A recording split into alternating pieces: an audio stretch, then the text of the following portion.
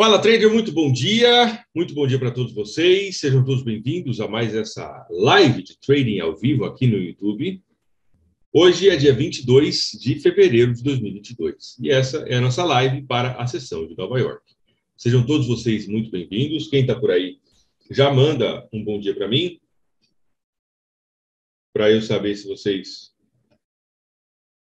se vocês estão me ouvindo, como é que está o som. Bom dia para todos vocês. Deixa eu ver quem está por aqui. William Rocha, bom dia.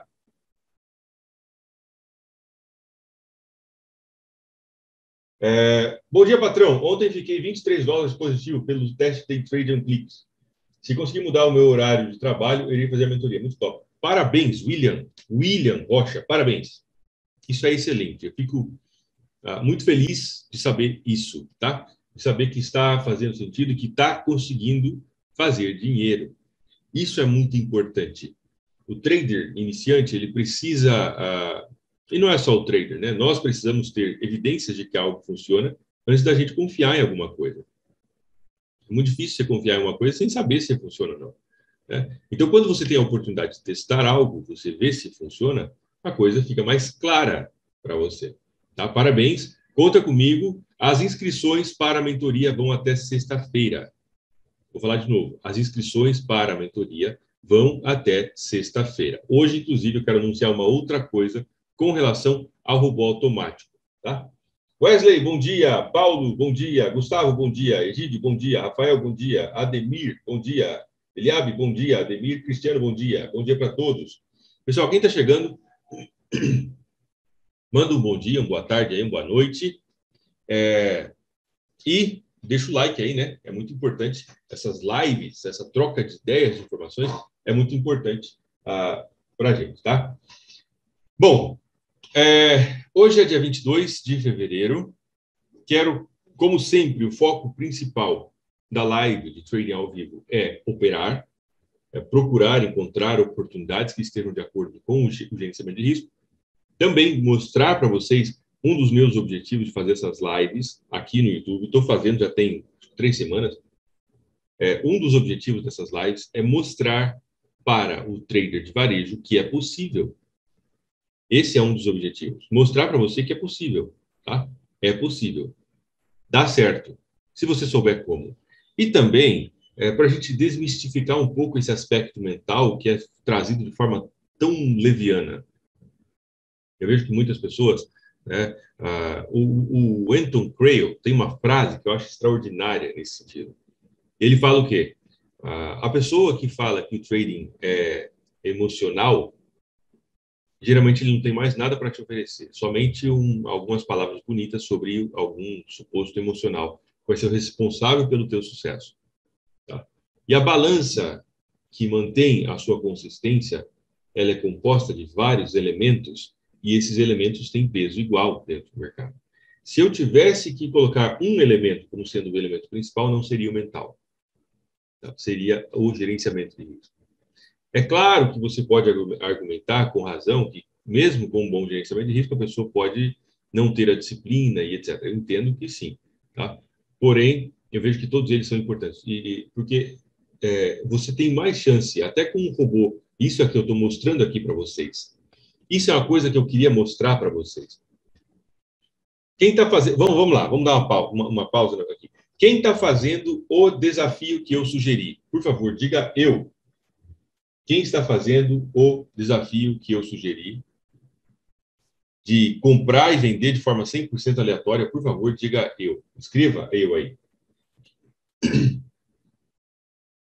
Quem está fazendo, por favor, escreva eu, só para eu saber e me orientar e a gente bater um papo a respeito disso. Bom dia! Bom dia, quem tá mais está por aí? Edvan, bom dia! F Poder, bom dia! Tito, bom dia! Por que, que, eu, tô, por que, que eu sugeri esse desafio? Qual era o desafio? O desafio era abrir uma conta demo, pegar as ferramentas do desafio Day Trade Click, colocar em 28 pares e comprar e vender no gráfico de 5 minutos de forma absolutamente aleatória sem qualquer tipo de análise. Ah, mas eu acho que vai subir, que vai cair. Não, você pode, poderia comprar em todos, ou poderia vender em todos. Ou poderia comprar em alguns e vender em outros. Esse é o desafio. O vídeo que eu lancei no sábado. Beleza? Por que, que eu estou te mostrando isso? Por que, que eu fiz esse desafio? Por algumas razões. A primeira é que eu confio no meu gerenciamento de risco.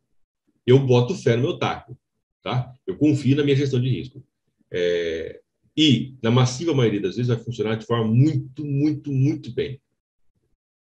É claro que em alguma situação do mercado, né, o mercado pode se distorcer, e aí a gente vai ter que intervir. Ok. Porém, em 95% do tempo, o resultado vai ser foda. Vai ser extraordinário. Na maior parte das vezes, o resultado vai ser muito bom. Por causa que a gestão de risco é muito foda. Sem papo na língua, direto e reto ao ponto. Ok? E algumas pessoas, e por que, que eu fiz isso? E, e, aqui, quando eu falo da gestão de risco, é exatamente isso. Porque essa, esse desafio tem mostrado para as pessoas que têm feito o desafio, tem mostrado para as pessoas que é possível ser consistente no mercado financeiro e que o, o elemento mais importante é a gestão de risco. Mesmo você tendo um comportamento completamente aleatório na hora de comprar e de vender, o resultado vai ficar positivo. Pergunta, deixa eu ver. Ademir, eu. Cristiano, eu. Bom dia. Bom dia. Quem, quem mais chegou por aí? Marcelo Gomes, bom dia. Joel Diniz. Senhor meu pai, bom dia. É, quem mais está fazendo? Quem está fazendo o desafio, fala para mim, o resultado está positivo ou negativo? Vou mostrar para vocês aqui o que eu estou fazendo. Ontem, ó, atenção, para quem está acompanhando todos os dias, tem uma, uma ideia de sequência das lives, né? Uma ideia de sequência, onde você vai ver o que eu trouxe ontem e eu vou te trazer hoje, tá? Então vamos ver o que aconteceu. Eu separei uma conta aqui e está aqui essa conta. Ontem, de novo, você não precisa acreditar no que eu vou falar agora, basta você puxar a gravação. Você ver a gravação da live de ontem, onde eu fiz a, a, os detalhes do desafio aqui com vocês. Eu fiz aqui, nessa conta, tá? A conta, quando eu comecei ontem, estava em 9.937 dólares, essa conta, certo? Isso aqui é o, esse aqui é o desafio, ó. Os pares que, ó, vou comprar em todos os pares. Os pares que não tiver posicionado, que não tiver operação, eu vou comprar, tá? Independente se estiver alto ou se estiver baixo. Estou comprando em todos os pares. Apenas isso. Ó, compra, compra, compra, compra, compra aqui também. Compra, compra. Estou comprando em todos os pares. Esse é o desafio. Isso é insano, cara. Isso é muito louco. Por quê? Porque se a gente pegar o resultado desde ontem, desde o dia 21, desde ontem, de forma totalmente aleatória, sem qualquer tipo de análise no mercado, essa conta demo gerou 144 dólares de lucro, operando 28 pares, 28 pares, sem stop loss, de forma aleatória, como é que é possível isso? Existe uma gestão de risco extremamente afinada e que você pode testar e talvez tirar insights, aprendizados. Ó, isso aqui foram as operações ah, desde ontem. Vou colocar aqui, ó, histórico personalizado desde ontem. Ok. Exatamente isso, 144 dólares. O saldo flutuante, o saldo flutuante nesse momento é 65 menos 66 ó, dólares aqui embaixo. Só que o lucro que foi gerado desde ontem foi de 144. Se a gente fechasse essas operações que estão flutuando no negativo agora, a gente ainda teria um lucro de em torno de 80 dólares. É por isso que eu tenho dito repetidamente, eu tenho falado repetidamente para os alunos, que muito do que se afirma com relação a mindset, mentalidade, né, a superdisciplina e etc., é mentira. Por quê, cara? é mentira. Por quê? Porque as pessoas, os traders, não têm o básico. As pessoas não têm o básico, que é o conhecimento sobre gerenciamento de risco sobre o mercado. Eu só vou concordar que um trader tem problema de disciplina e problema psicológico para operar quando ele tiver um conhecimento que seja sólido. E se ele tiver um conhecimento que seja sólido, eu duvido que ele mantenha a, a indisciplina dele. Ok? Guilherme, bom dia. Vamos lá, deixando o like, meu povo. Quem chegou, mete o dedo nesse like. Senta a porrada no like aí, que é importante. Positivo, muito bom. Comecei na quinta, depois da live, 18% de lucro e o máximo 17,1 contra de mil. Ótimo, parabéns, Cristiano. Se eu deixar uma ordem pendente, o robô irá iniciar essa ordem quando ele abrir? Não. Wesley Romão, não. Tá? Ele tem que fazer, a gestão está na mão do robô. Por que, que eu por que, que eu estou fazendo esse desafio de forma pancadona? Tá? Isso aqui é, um, é uma coisa aleatória, cara. Não tem análise aqui o que eu fiz. O que eu estou fazendo aqui não tem análise. É apertar o botão para comprar, comprar, comprar, comprar, ou vender, vender, todos os pares. E de ontem para hoje gerou 144 dólares na conta de 10 mil dólares, mesmo com lote de 0,01. Tem algumas operações que, que estão ah, negativas, mas a, a, máquina continua gerando lucro, gerando dinheiro. Isso prova o quê?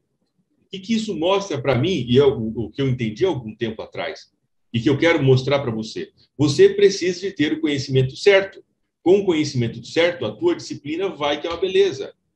Se você tiver o conhecimento errado, se você não tiver evidências para você confiar na tua estratégia, daquilo que você faz, a tua disciplina não vai para frente, porque a tua disciplina se alimenta de evidências.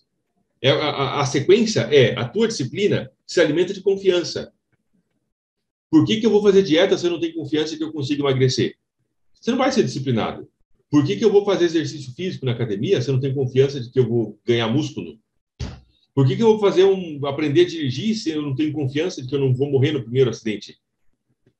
A tua disciplina, a tua disciplina, ou seja, fazer aquilo que precisa ser feito da forma como precisa ser feita, nasce da tua confiança de fazer, de saber que vai dar certo. Então, para você ter disciplina para fazer do jeito certo, você precisa confiar que vai dar certo. E como é que você confia que vai dar certo? Quando você tem evidências, quando você tem histórico, como é que você constrói? Então, em um primeiro momento, você começa sem muita confiança. Por isso tem que começar a contar demo, para que você não tenha medo de quebrar a cara, para que você não tenha medo de quebrar a conta. Começa na conta demo, gera evidências da, da, da eficiência da tua estratégia na conta demo. Uma vez que você tem evidência, você consegue transportar uma parte disso para a tua conta real, com um lote menor, começar devagarzinho. Uma vez que você tem confiança que funciona, aí a tua disciplina cresce, se fortalece. Eu sou extremamente disciplinado no mercado financeiro eu sou extremamente disciplinado no mercado financeiro. Qual foi o caminho que eu, que eu trilhei para alcançar a disciplina no mercado financeiro? Eu comecei de, pela conta demo. Inclusive, até hoje, eu uso conta demo para testar coisas novas, para testar ferramentas, para testar ideias, para testar gestão de risco. Às vezes eu, eu, eu, encontro uma pessoa, a pessoa vem falar comigo, ah, não estou dando muito certo no mercado e tal. E que dica você me dá uma dica? E eu falo, cara, vai para a conta demo. Se não está dando certo, você está fazendo o que na conta real? O que, que você está fazendo na conta real se você não está dando certo?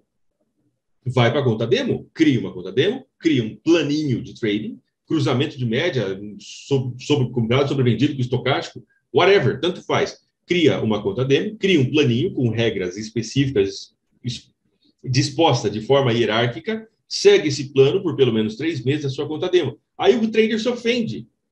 Não, eu já estou na conta real faz anos. Não, cara, se você está na conta real, se você ainda está se dando mal, você tinha que estar tá na conta demo. Não, eu estou na conta real. E eu quero conta real faz tempo. Mas você está perdendo, se o cara está perdendo dinheiro, já serve de quê? O orgulho de que está operando na conta real. De que, que serve? Não serve para nada, velho. é importante pensar isso. Portanto, organização da tua conta demo extremamente importante. A tua conta demo vai gerar isso aqui, ó. Olha o que a tua conta demo vai gerar para você. Quando você souber. Ó, desde ontem, a conta. Desde. Eu vou abrir o histórico aqui, tá? É, relatório. Aqui, ó. Histórico. Relatório. Desde ontem.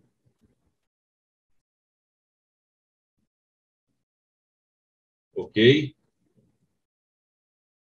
Desde ontem. Isso aqui é desde ontem. No total foram 81 operações desde ontem, 100% de taxa de acerto, de forma absolutamente aleatória, comprando e vendendo de forma absolutamente aleatória, sem mais nada. Foram 81 operações desde ontem, tudo baseado no quê? Apoiado em quê? No, no gerenciamento de risco. Isso aqui vai funcionar o tempo todo? Não.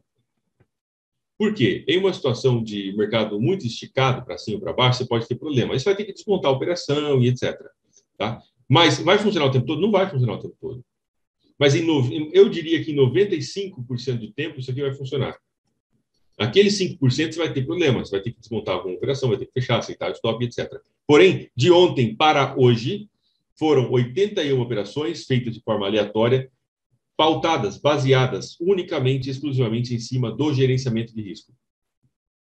Isso gerou 100% de taxa de acerto. Ok? Então, isso traz para a gente evidências aí muito fortes do funcionamento da estratégia. Certo? Alguma pergunta, pessoal, a respeito da gestão de risco até agora? Enfim, alguma coisa aí que não tenha uh, ficado muito claro para vocês? Alguma coisa? Por favor, mandem aí para mim, se vocês têm alguma dúvida, alguma pergunta.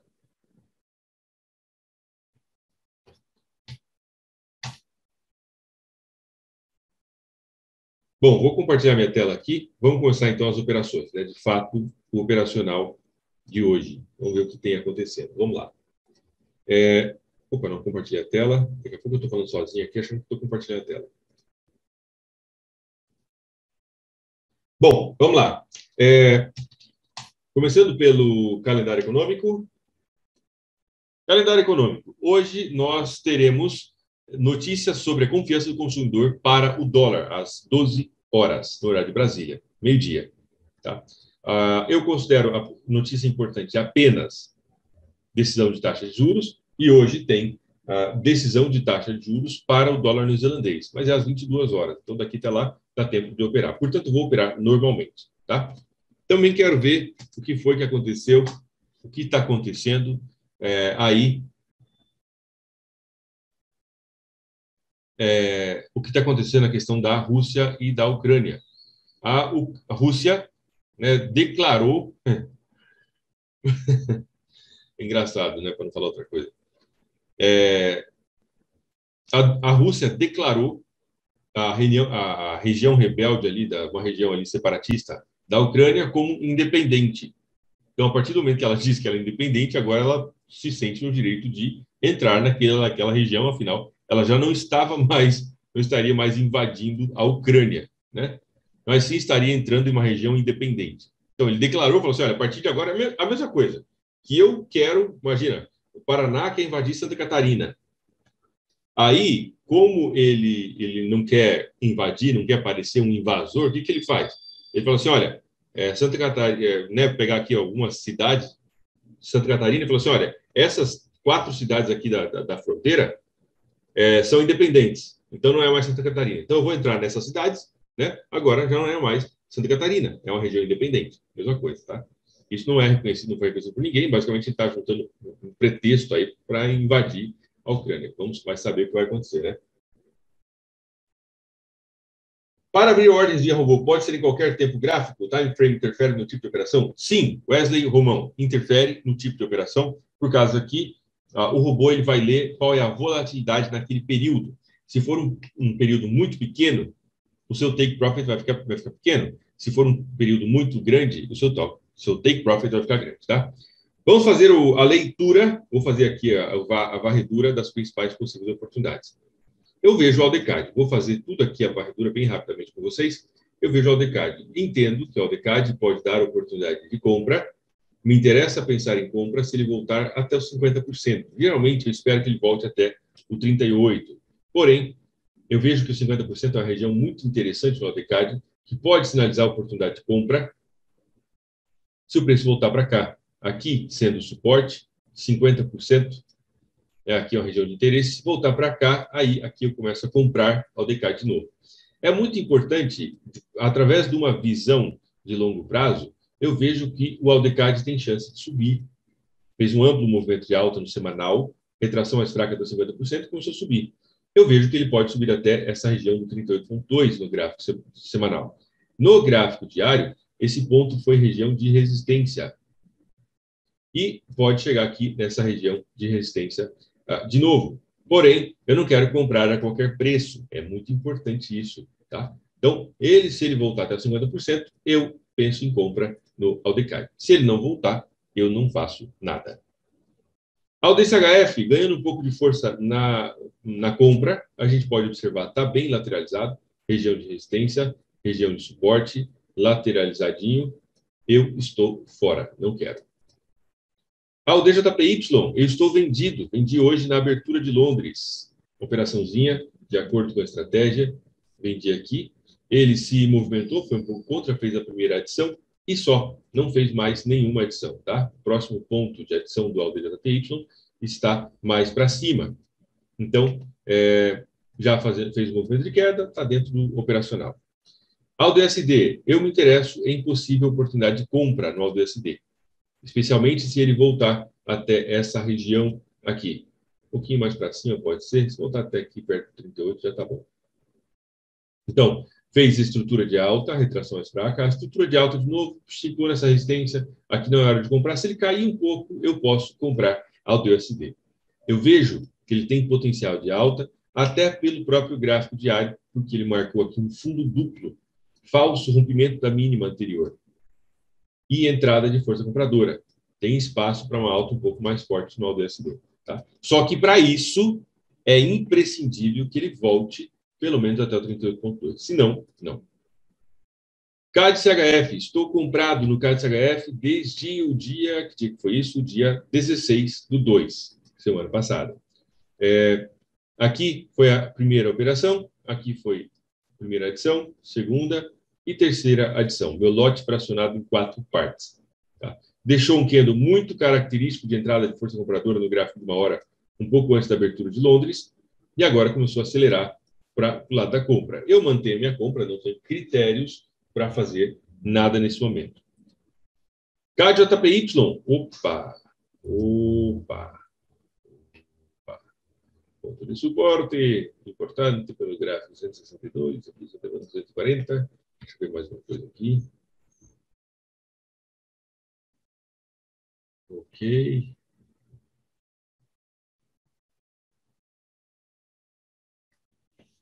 Cádia TPY está numa região bem interessante para pensar em possível venda. Deixa eu a minha exposição em outros pares. O Yen, eu tenho uma, duas, é, já tenho três operações que envolvem o Yen. Eu até gostaria de vender CAD JPY, mas já tenho Alda JPY, CHF JPY e GBP JPY. Portanto, eu não vou entrar não, tá? Extremamente importante seguir o gerenciamento de risco. Como é que você faz para ter disciplina para seguir o gerenciamento de risco? Você tem que confiar.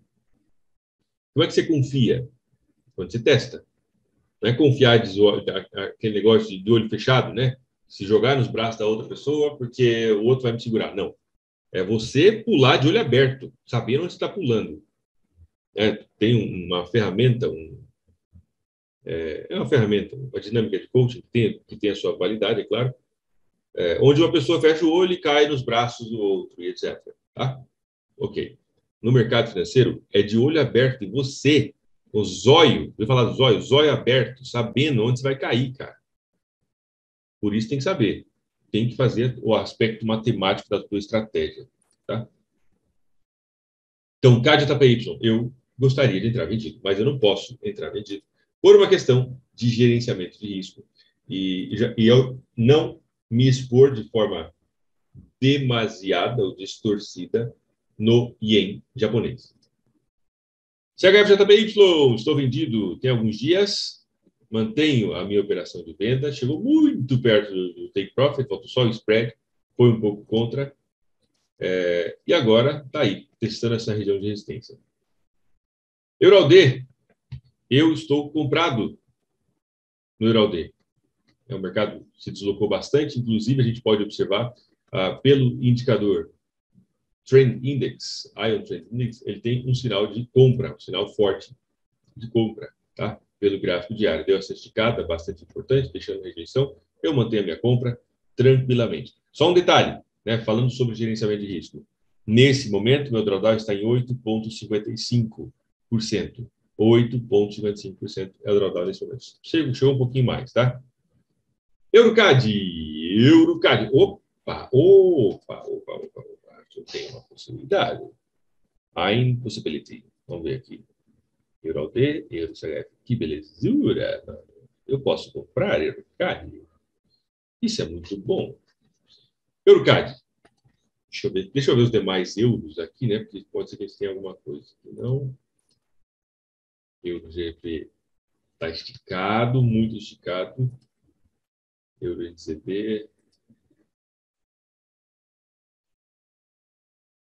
Ok. Deixa eu ver uma coisa aqui no Euro.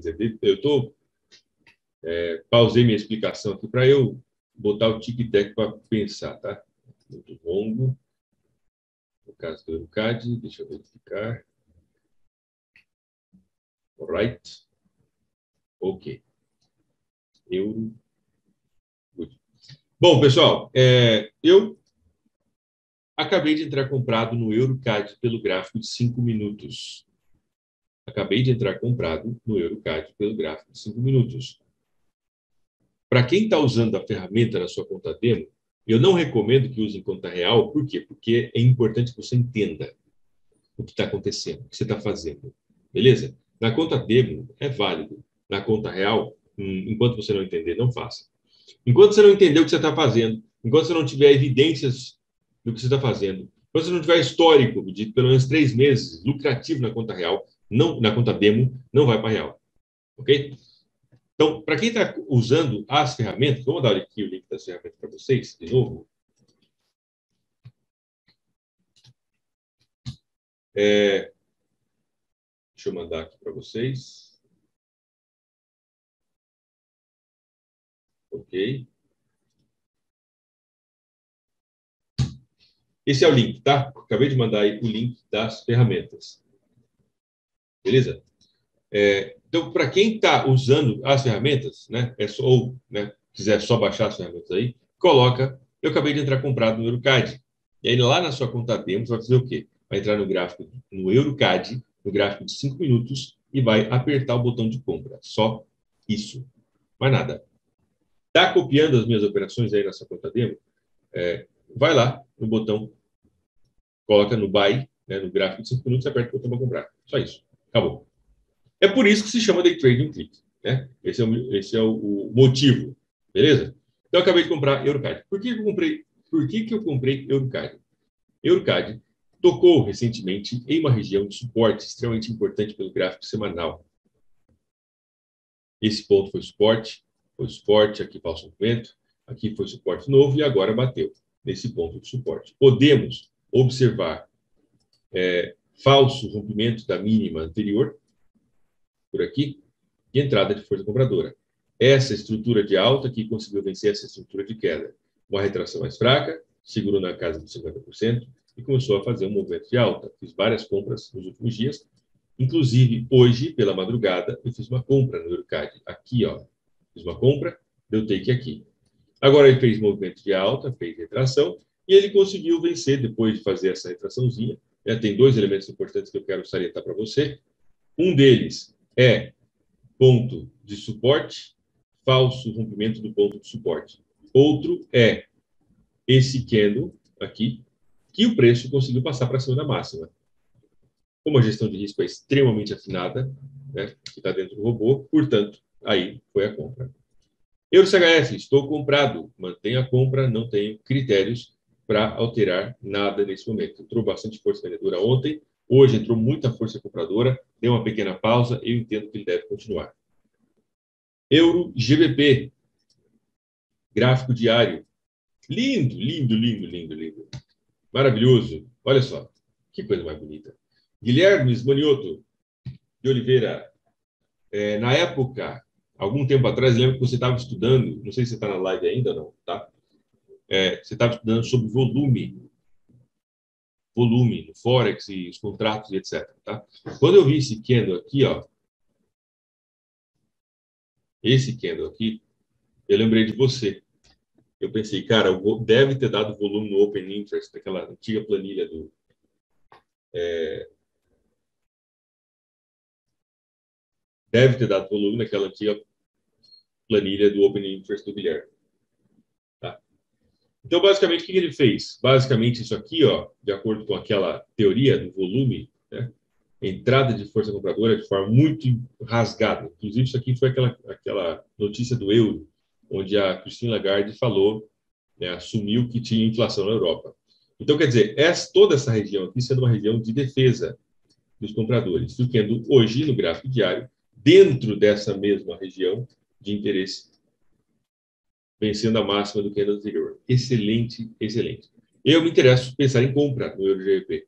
Para isso, eu preciso que ele retraia um pouco, porque eu não quero comprar lá em cima, né, cara? Eu entendo, eu entendendo que o mercado se movimenta de forma uh, cíclica e através de ondas, ele fez esse movimento de, de alta, uma retração até o 38,2, ótimo para pensar em possível compra dentro dessa mesma região. Então, vou colocar aqui um alerta sonora, o 38,2, se ele voltar até o 38,2 desse movimento de alta do dia de hoje, no euro GBP, eu penso em compra. Ok? Euro JPY, é, entrada de força compradora, eu me interesso em alguma coisa se ele chegar lá em cima. É, lá em cima é uma região boa para uma possível venda. Antes, eu não quero. Estou fora. Euro NZD, eu entendo que ele tem espaço, já começa a ficar interessante para alta, porém eu acho que ainda é meio precoce pensar em uma alta no Euro NZD. Tá? Idealmente, uma compra, a melhor compra de todas, na minha opinião, vai acontecer aqui na região de 61,8. E não é por ser o 61,8, mas sim por ser uma região de interesse muito marcada. Se ele cair até aqui, o 61,8, eu posso pensar em possível compra. EURSD, me interessa pensar em possível compra, inclusive também temos o mesmo uh, fenômeno, né, entrada de força compradora bastante importante. É, nesse ponto, retração mais fraca, fundo duplo e possível entrada de força compradora. Ótimo, me interessa comprar EURSD, se ele voltar para a região do, 60, do pelo menos 38,2 deste movimento de alta. Tá? Então, aqui 38,2, marcar um alerta entrada de força compradora, fundo duplo, está ótimo. Só precisa voltar um pouquinho, né? Eu não tenho espaço para entrar em mais operações com euro nesse momento, por causa que eu já estou em três operações que envolvem o euro. Tá? Porém, é, dependendo do jeito que ele voltar aí, eu me interesso. E pode ser que dê alguma. Pode ser que dê alguma, algum sinal.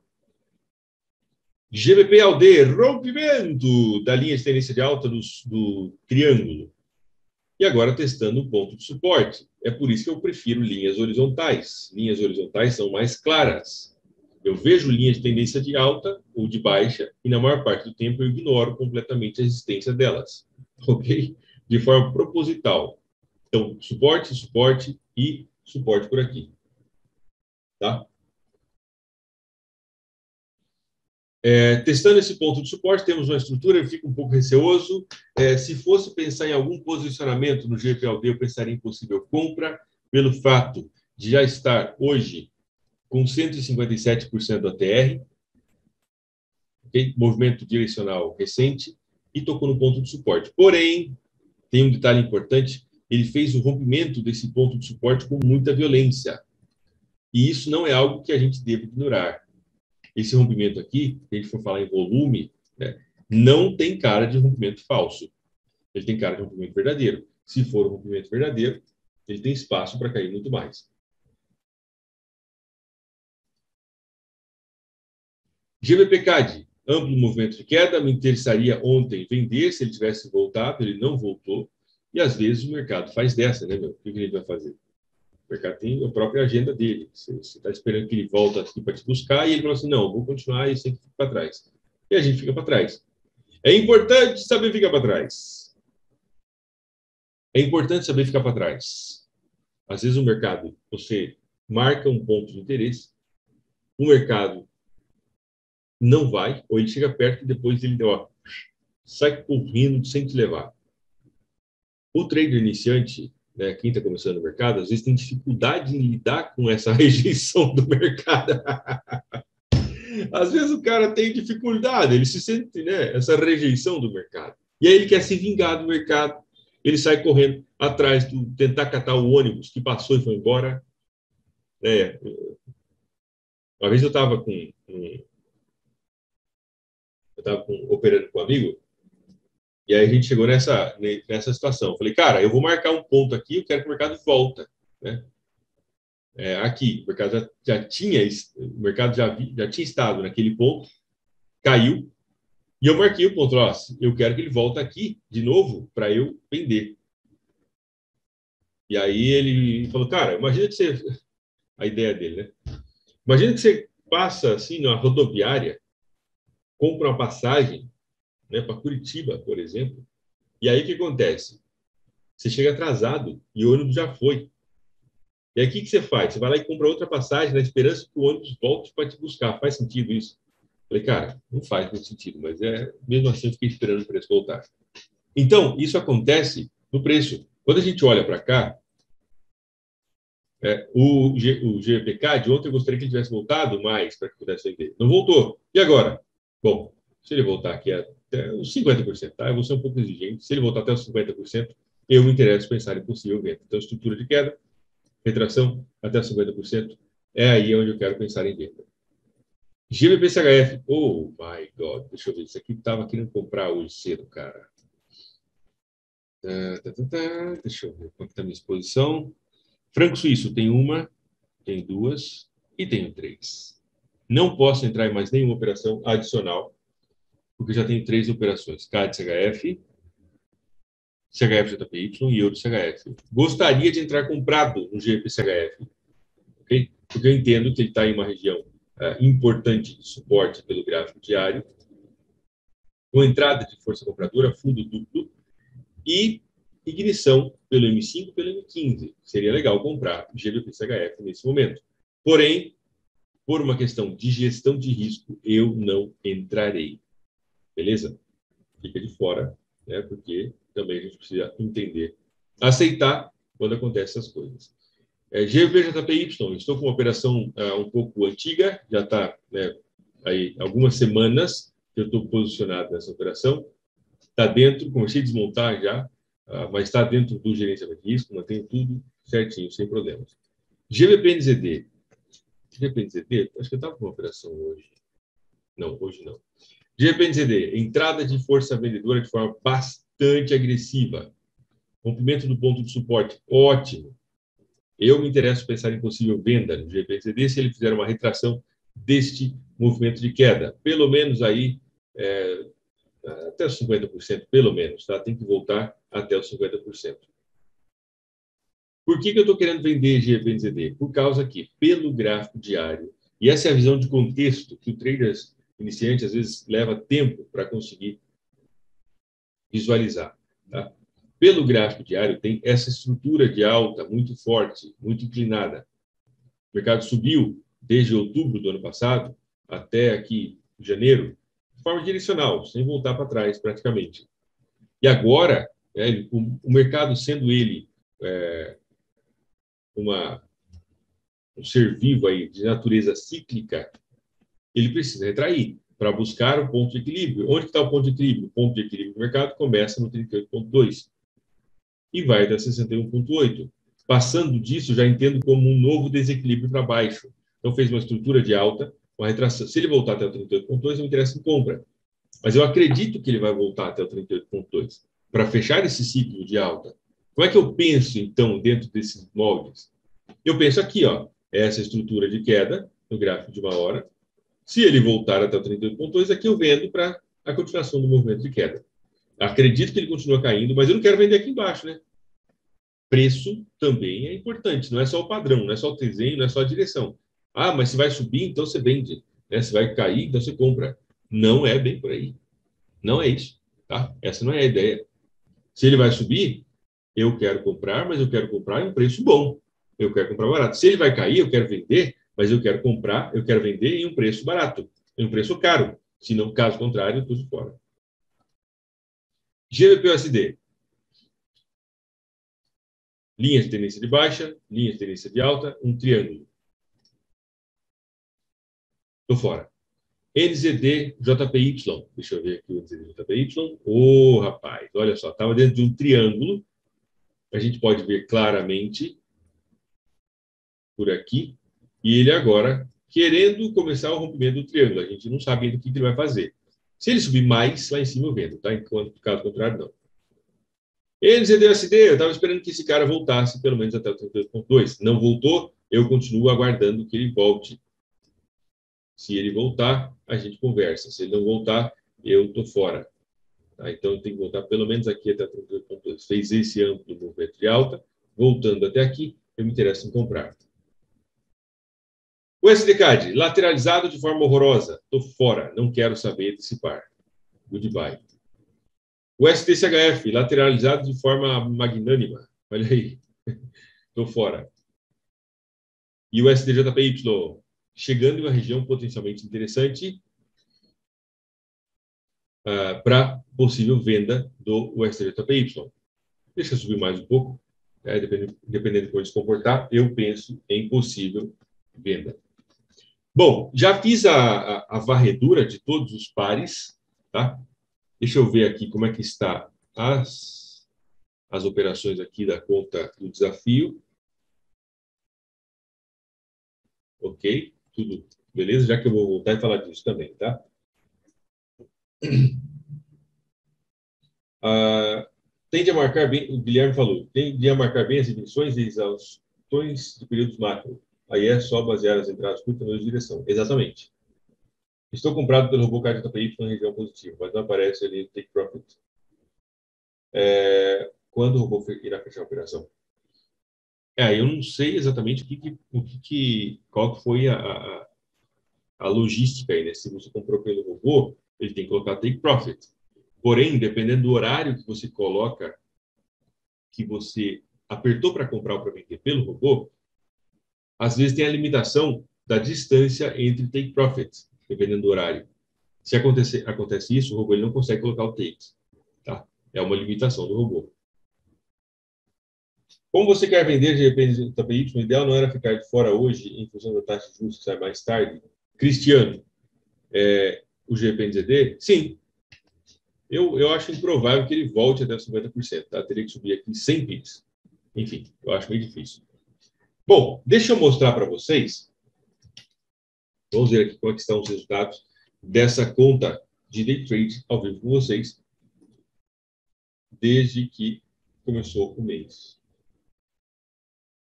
Deixa eu pegar aqui o QL5.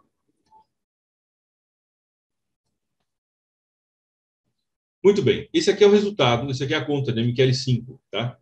Que eu compartilho essa conta que couber com vocês. Vou mandar o link se alguém quiser dar uma olhada, fique à vontade. É, então, essa conta, ela está com 27,52%, é arredondando para 28% aqui né, no gráfico. Drawdown máximo, 14,7%, foi o máximo rebaixamento. Negociações com lucro, 95,4%, 95,4%, certo? Uh, durante o mês de janeiro, o resultado foi de 14,97%. Fevereiro está em 10 0,92. Hoje é dia 22, então deve fechar aí na casa dos 3, né, mais 3 ou 4%. Talvez aí na casa dos 14%, igual ao mês de janeiro. Tá? Eu, particularmente, acredito que deve fechar entre 13% e 14%. Ok? Uh, o, as estatísticas dessa conta, até o momento foram 152 operações, das quais 145 foram positivas, 7% negativas apenas certo? Aqui nós temos todos os demais detalhes você pode dar uma olhada aí se você quiser. É, no último mês, o crescimento né, dos últimos 30 dias foi de 14,65%. Então, quer dizer, está numa boa rentabilidade. Tá? Então, nesse momento, essa conta está em menos 8,70%. Olha lá, 8,68%, flutuando no negativo. Só que ela já tem 27,52%. Essa é a magia né, a mágica aí do gerenciamento de risco. Quando você sabe, entende o gerenciamento de risco e tem algum tipo de, de análise, de filtro para te ajudar a pensar os critérios de entrada, tudo isso fica, o processo inteiro fica muito mais leve, tá? Muito mais fácil. Ok? É, deixa eu ver aqui. O take profit inicial é 2,75 vezes o ATR. JC, é, quem me ajudou a chegar nesse, nesse número em grande parte, foi o, um aluno, né, que foi aluno, dois alunos, na verdade, né? o Lucas Brandão e o Guilherme Smanioto, que está participando aqui da live. Tá? É, a gente formou um grupo de estudo algum tempo atrás, onde a gente passou muito tempo discutindo várias coisas. Isso em 2018. É, e aí, quem, quem me ajudou, me deu alguns insights, etc., nessa troca de informações que a gente tinha, foi quando eu consegui, a gente chegou nesse número. Tá? E eu dou crédito aí para os caras, são meus alunos, mas aprenderam algumas coisas comigo, né? não somente comigo, todos eles aprenderam também muitas coisas fora, mas a gente fez um grupo de estudo fechado. Tá? E aí, é, a gente discutiu muita coisa entre 2018, 2018, entre 2018 e 2019 a época o que fui para a Espanha. Na época, eu operava no gráfico diário sem stop loss. Mas é, eu consegui, depois, em 2020, juntando tudo que, toda a minha experiência que eu já tinha acumulado operando sem stop loss no gráfico diário, eu decidi trazer tudo isso para o day trading. E aí foi que eu fiz. Fiz testes utilizando outros números, outras, uh, outras constantes, né? 2,75 sendo uma constante, é, 2,5, 2,5, é, 3 e assim por diante, tá? É, mas 2,5 ele consegue capturar muito bem a volatilidade, o tamanho do movimento. Deixa eu desenhar um pouquinho aqui, responder sua pergunta, que é muito boa. Uma pergunta, né, para quem está dentro da mentoria, mas eu respondo aqui mesmo, não tem problema. Ah, então, veja bem, esses movimentos do mercado, eles têm uma certa amplitude. É isso que eu falo que é a coisa mais sinistra de todas, é o estudo da volatilidade. E, e muito importante, dentro do robô, ele tem esse estudo. Dentro do robô, é por isso que o sistema, o gerenciamento de risco, é, é tão sólido. Por quê? Por causa que aqui dentro do robô, da ferramenta né, que vocês estão utilizando, fazendo teste no modo hardcore aí, ele tem essa métrica para entender esse, a amplitude ou a, a direção, a volatilidade desses, desses movimentos. E dentro disso tem tantos, tantas milhares de horas de estudo a respeito do mercado, onde foi feito um estudo exaustivo para, se eu comprar aqui, por exemplo, e o mercado cair no tamanho geralmente que ele cai, eu consiga arrastar o meu preço médio de tal modo que, em uma retração não muito grande, eu saio da operação com lucro. Ok? Então, é, a sua pergunta é muito, muito boa, muito pertinente, mas basicamente não dá para falar de gerenciamento de risco sem a gente entender a volatilidade, porque a volatilidade, a volatilidade é a única e verdadeira forma de medir o risco. Todas as outras formas né, são formas de é, derivadas da volatilidade tudo deriva da volatilidade. É impossível pensar gestão de risco de forma eficiente sem pensar em volatilidade. E a volatilidade é o deslocamento do preço ao longo do tempo. Então, é, se o preço caiu aqui é, 200 pips em quatro horas, a volatilidade, o deslocamento do preço foi esse tanto. Ou se ele mexeu, né, basicamente, considerando de máxima a mínima. Tem outras formas também de medir volatilidade, várias formas. Ah, portanto, não dá para a gente pensar a gestão de risco sem pensar a volatilidade. E a volatilidade ela precisa ser considerada na hora de fazer esse tipo de fracionamento das operações, das entradas. Então, se eu vou dividir a minha entrada em quatro partes, eu preciso ter um estudo extremamente é, refinado, afinado, e eu estudo pra caramba. Tá? Eu preciso ter um estudo extremamente afinado para eu saber que lote eu vou utilizar nessas, nessas adições e qual a distância uma da outra. Porque se for muito perto, eu acabo me tropeçando, né? For muito perto, vamos dizer, eu compro aqui, aí um pouquinho, compro aqui, aí eu compro aqui e compro aqui. Ou seja, está muito perto. Se for muito longo, né, vamos dizer, eu quero comprar aqui, compro uma outra aqui e a outra compro lá embaixo. Se for muito distante, o mercado não chega a fazer as adições necessárias para você conseguir sair da operação com lucro. Então é um dilema constante. É um estudo de, de, de muito insano, muito intenso, milhares de horas. Ainda hoje eu estava fazendo caminhada, estava ouvindo é, o livro do Outliers. É, qual é o nome do, do, livro Outliers em português? Deixa eu pensar aqui, para o pesquisar. Outliers. Eu estava escutando em inglês. É, fora de série. Fora de série. E ele fala exatamente isso, né? A questão das 10 mil horas, etc. Ele fala exatamente isso. Né? Que, que, na verdade, o, o talento, a maestria, ou ser excepcional em alguma área do conhecimento, vai levar muitíssimas horas de prática deliberada.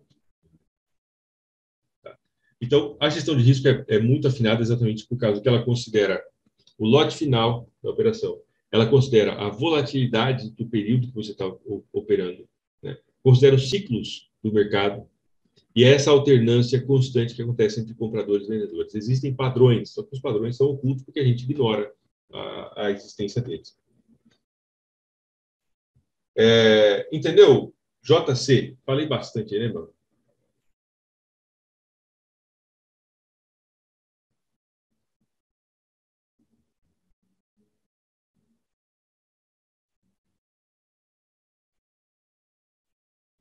Acho que ficou claro aí.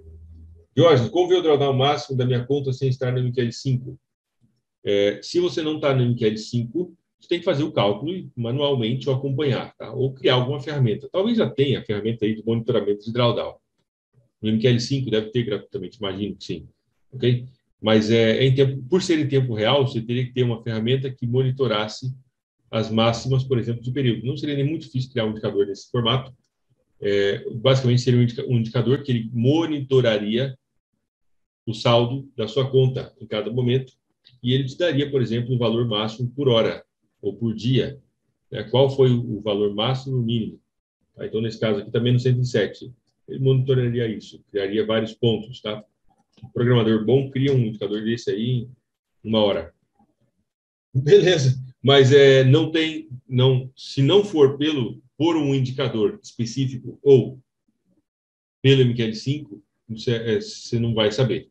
Você basicamente fica olhando aqui, né? Tem que ficar olhando.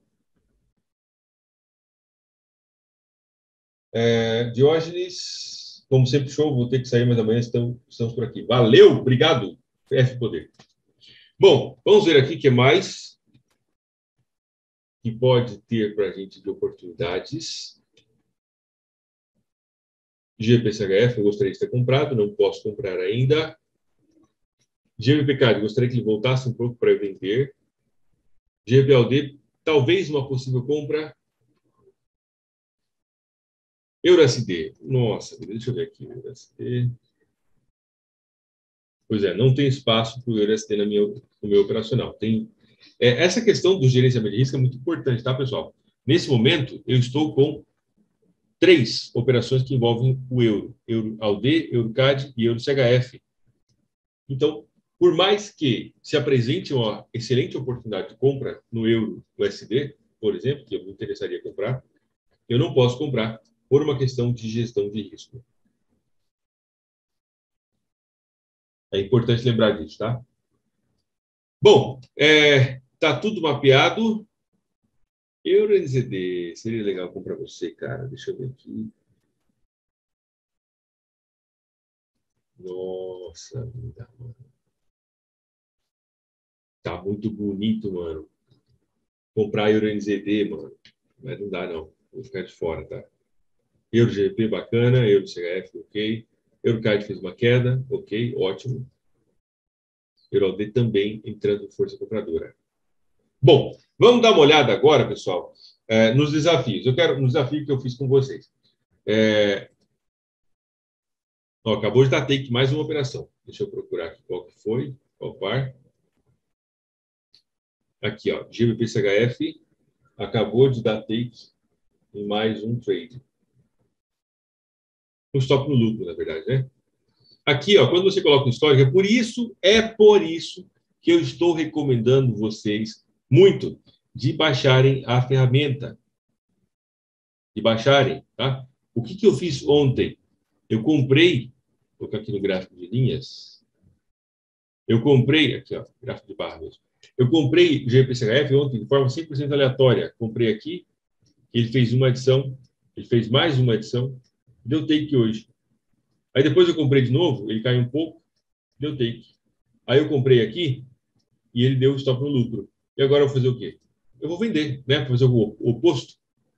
Eu acabei de vender aí o, o GPCHF na conta demo, tá? Para fazer o teste com vocês. Desde ontem, desde ontem, tem mais alguma coisa aqui que deu take também.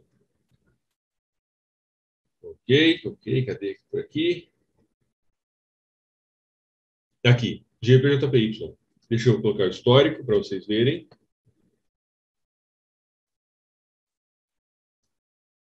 As operações do GPJPY. Ontem eu vendi. Aqui fez uma adição.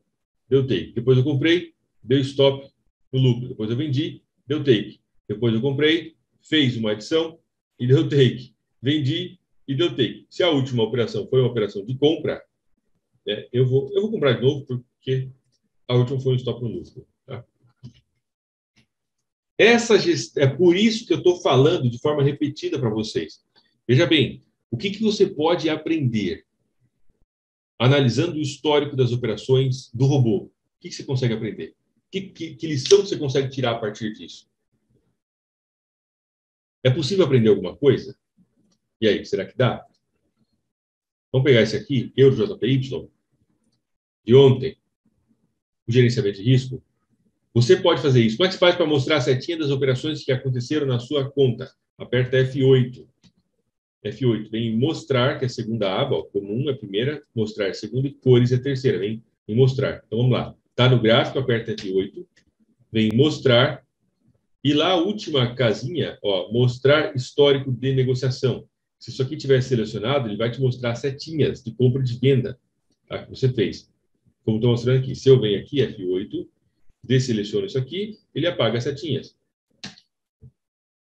Aqui, ele mostra as setinhas o convite é isso. Você não, você não precisa pagar nada, é só fazer o desafio aí você vai ver, tá? Na prática. Então, aqui a gente pode ver todas as operações. Ó, eu JPY, aqui foi uma compra, aqui foi uma adição, aqui deu um take. Aqui foi uma venda, aqui deu uma adição e está flutuando. O que mais? Vamos ver isso aqui, esse outro par. AldoSD. Quais foram as operações que foram realizadas aqui no AldoSD?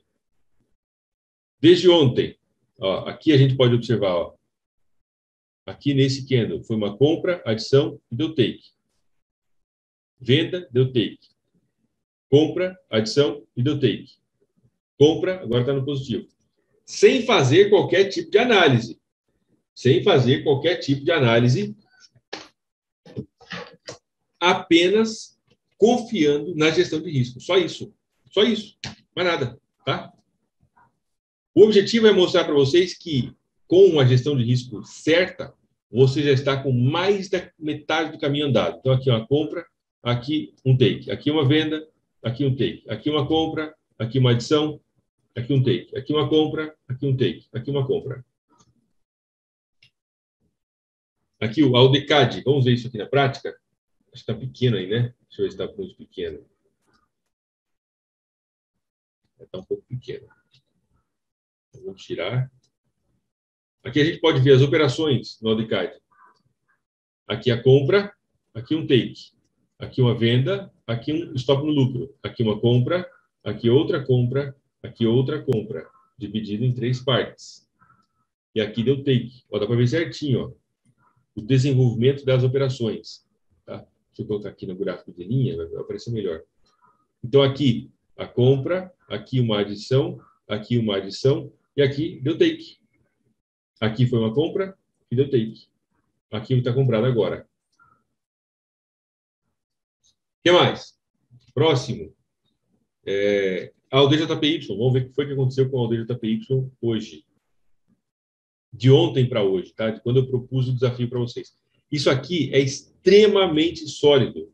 Aqui foi uma compra. Ó, vou colocar só setinhas, vai ficar mais, vai ficar melhor, né? Compra, compra, take. Venda, take compra, compra, compra, take, compra, compra, take, venda, venda, está aberto. Próximo, GPCHF. Por que eu estou mostrando isso aqui para vocês? Para vocês entenderem, verem que negócio funciona. Tá? É, gráfico de linhas. Ok. GPCHF, foram poucas operações. Aqui foi a primeira compra, aqui foi a segunda compra. O robô fez tudo isso, tudo isso sozinho. Tá? A única coisa que eu fiz foi apertar a primeira operação. Aqui foi outra compra, deu take. Aqui compra, compra, take. Compra, stop no lucro, venda. Qual mais? Histórico. Desde ontem, venda, adição, take. Compra, stop no lucro. Compra. Pô, tá claro aí, né, meu? O negócio funciona. Tá? Último, para não ficar enchendo o saco aqui também com esse, esse assunto. GBPLD, de forma aleatória. Compra, compra, take. Compra, stop no lucro. Venda, venda, take. Compra, take. Olha o take que ele pegou. Compra, compra e agora está flutuando negativo. Porque basicamente não estou deixando que operação, nenhum par fique sem operações, tá? Todos eles têm que ter, que esse é o, o princípio do desafio. O que, que você consegue entender a partir disso? E aí? Você está usando a ferramenta na sua conta demo? Está usando?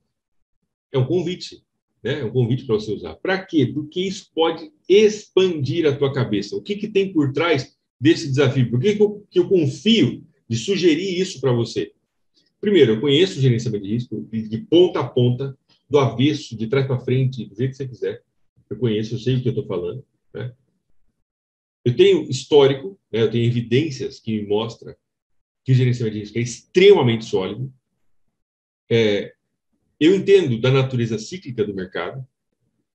Eu também aí tenho o princípio do portfólio, da distribuição dos ativos. Tá? Então, tudo isso traz em conjunto, tudo isso está incluído dentro do, da, da, inteligência do robô. Agora, tem muitas pessoas me perguntando, me falando, Diógenes, vende o robô. Eu não vendo robô. O que eu vendo é formação no mercado financeiro, com a possibilidade de o um aluno operar ao vivo comigo durante 12 meses, vendo minha compra, minha venda, meu histórico, minhas operações, tudo que eu estou fazendo, o que eu estou fazendo aqui com vocês, compartilhando com vocês.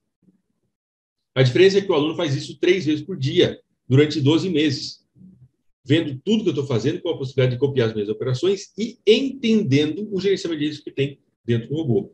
Tá? Então, pessoal, na sexta-feira vai se encerrar as inscrições para a mentoria. Quem tiver interesse, entra aí no link.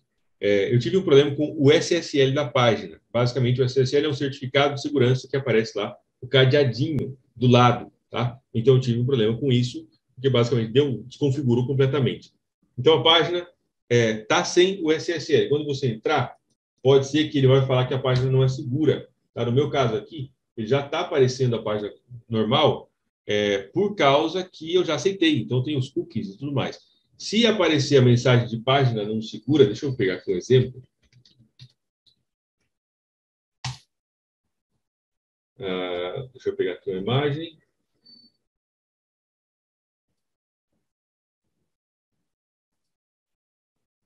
Aqui, ó. Isso aqui é uma imagem, tá? Deixa eu abrir aqui. Ó, se aparecer uma página desse jeito, você for entrar no link para você ver os detalhes da mentoria, para você operar ao vivo comigo, vai aparecer mais ou menos desse jeito. Você tem que clicar nesse botão que é quase invisível. Os caras fazem invisível que é de propósito. Ok? É, por que, que eu não solucionei? Porque leva dois dias. Então já está sendo solucionado essa questão do SSL da página, mas leva dois dias para solucionar, para o negócio se propagar, o DNS, etc., para ser corrigido o detalhe. Então, se aparecer, fica tranquilo, não tem nada de errado com a página, tá? A página não é, é não vai acontecer nada com seus dados nem nada. Tá? Mas basta você apertar aqui em avançado e aí vai, vai aparecer um link ali dizendo, ah, eu quero ir sim para o link ali, Masterclass, etc. Ok? Então, esse é, essa é a forma. Basicamente, é, eu até peço desculpas aí para quem queria, é, para quem tentou acessar a página, tanto a página tanto a página da mentoria quanto a página das ferramentas, tá? Porque aí não conseguiu. Mas quem tiver interesse, as inscrições vão até sexta-feira. Beleza? Para você poder operar comigo, entender tudo que eu estou fazendo de forma uh, organizada, vendo os meus resultados, não está aparecendo. É, tá, olha eu de novo. Desculpa, gente. Agora está aparecendo. Vacilo, tá? Então vamos lá de novo. Sem preguiça. É isso aqui. A página, aqui, ó. Eu tive um problema de SSL, tá? O que é o problema de SSL? Basicamente é um certificado de segurança que aparece aquele cadeadinho. Por exemplo, né, se você pegar aqui, essa aqui é a, a live, tá? Então aqui, ó, tem um cadeado, tá vendo? O cadeado aqui no YouTube. Basicamente é um certificado de segurança emitido por uma empresa é, dizendo que a página é segura. Como desconfigurou, né, e isso aconteceu no sábado, como desconfigurou, é, então eu tive que retirar o SSL isso já foi resolvido, só que leva até dois dias para isso se concretizar, por causa que existe a propagação do, do DNS que leva tempo. E aí, então, se você entrar na página para inscrição da mentoria e aparecer uma página mais ou menos parecida com essa, você vai nesse botão, tem um botão que é quase invisível aqui, ó, avançado, ok? Isso aqui é só uma imagem da internet.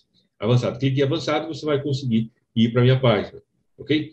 É só por uma questão de, de, de falha técnica que acontece nas melhores famílias, portanto, está aí.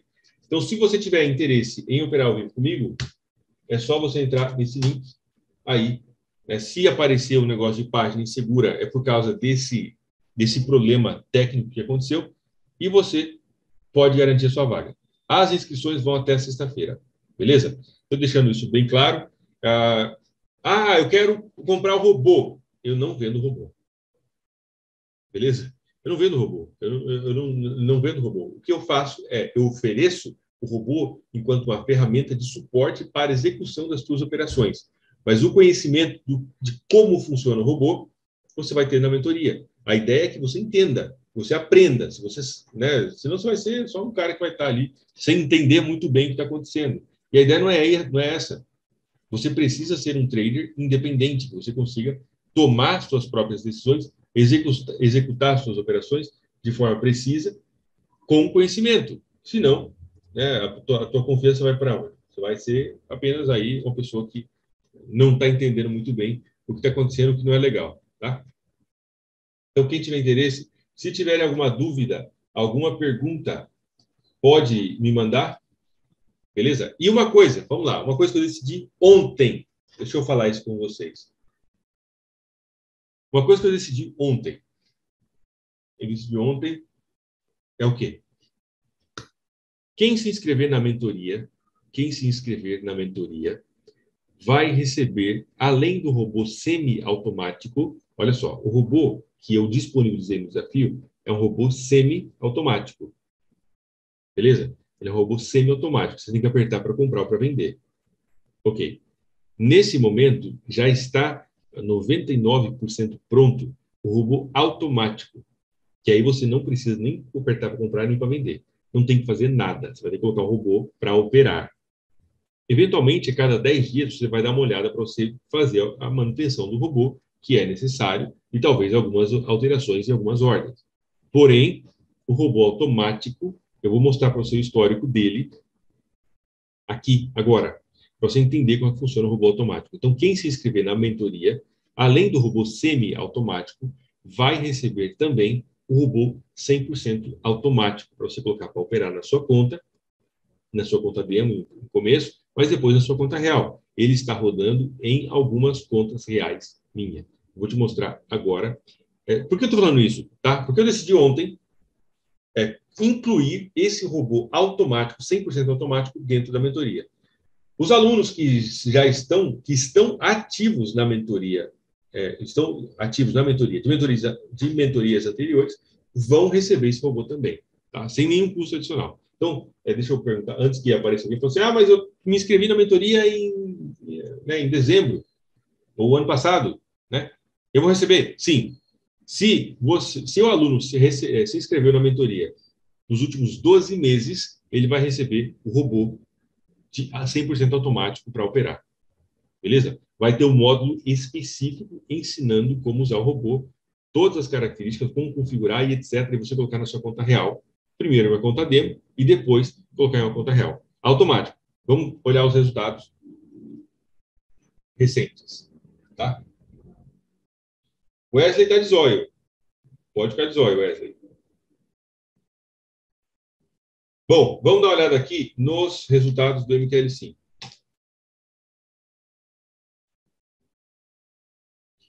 É, isso aqui, ó, esse histórico, ele é 100% automático. Tá? 100% não, porque eu acabei fechando algumas operações. A gente pode ver aqui, ó, ele está com algo trading, ó, algo trading 95%. Por que 95%? Porque eu andei fechando algumas operações é, de acordo com o meu critério de gerenciamento de risco. Esse robô, essa conta, né, DEX ou High Risk, ela está, nesse momento, com 125,82% de lucro. Ok? Essa conta está no MQL5 aberta também, é uma conta real. O depósito inicial foi de mil dólares. Saldo na conta, 2.258 dólares. Deu 125,82%. Drawdown máximo, 50,9%. Por que 50,9%? Porque aqui está no modo extremamente arriscado. Eu coloquei uma conta real e botei no modo hardcore do bichão mesmo, sem dó nem misericórdia. Tá? Negociações com lucro, 83,5. Por que está 83? Porque essa é uma conta RED. Então, é, ele não faz o preço médio ali como faz a conta NET. Beleza?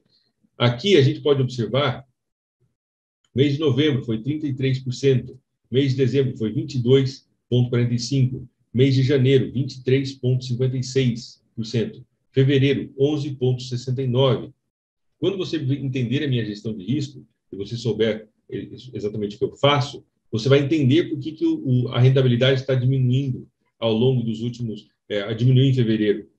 Tá? Em fevereiro, basicamente, eu fiz um, um, ajuste no tamanho do lote. Você vai entender isso também 100%. Eu fiz um ajuste no tamanho do lote, é por isso que diminuiu. Então, a perspectiva, em termos de porcentagem, né, conforme o saldo vai aumentando, a, a, a porcentagem ela vai diminuindo um pouco até estabilizar aí em torno de 5, 6%. Ok? 5, 6% ao mês. Beleza? Então, esse é o histórico do robô 100% automático, que quem se inscrever na mentoria até sexta-feira vai receber esse robô também, de forma 100% automática. Beleza? Sem qualquer, é, sem qualquer é, coisa adicional por aí. É, eu não queria fazer uma coisa, mas acho que eu vou fazer. Deixa eu ver aqui uma coisa. Aqui, pode ser essa aqui. Vou abrir o histórico dessa, dessa conta. Pessoal, vou ter que logar aqui só um pouquinho, pessoal. Eu vou fazer isso porque eu acredito que isso é, vai dar uma maior percepção para vocês a respeito do que é o, o robô automático, tá? Então, deixa eu só, deixa eu só ver um detalhe aqui. Deixa eu ver se tem essa conta. Não tem? Deixa eu pegar aqui o, o link. Só um pouquinho. Eu vou fazer, não estava nos planos fazer isso, tá? Estou fazendo agora mesmo, enquanto estou conversando com vocês aqui. É, só um momento, deixa eu pegar aqui o, link da conta, o, o, nome da conta, né? Número. Ok. Aqui é em tempo real.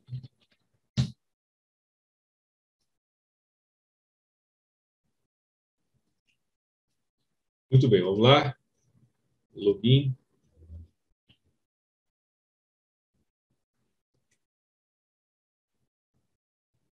Vamos ver se vai carregar. Ótimo. Então, carregou aqui várias operações. Tá? Deixa eu só verificar mais um detalhe, já que eu vou mostrar para vocês. Certo, deixa eu compartilhar minha tela. Vocês vão ver agora o histórico do robô desde o começo. Essa aqui é a conta que está com o robô. Tá? Essa aqui é a conta que está com o robô 100% automático, sem qualquer tipo de, de, de, de, Teve algumas intervenções algumas poucas intervenções em no dezembro, novembro, dezembro, por aí. Fora isso, não teve mais nenhuma. Ok? Então, eu vou abrir o histórico. Aqui, histórico. Botão direito. Histórico completo. Vamos lá. Uh, relatório, HTML.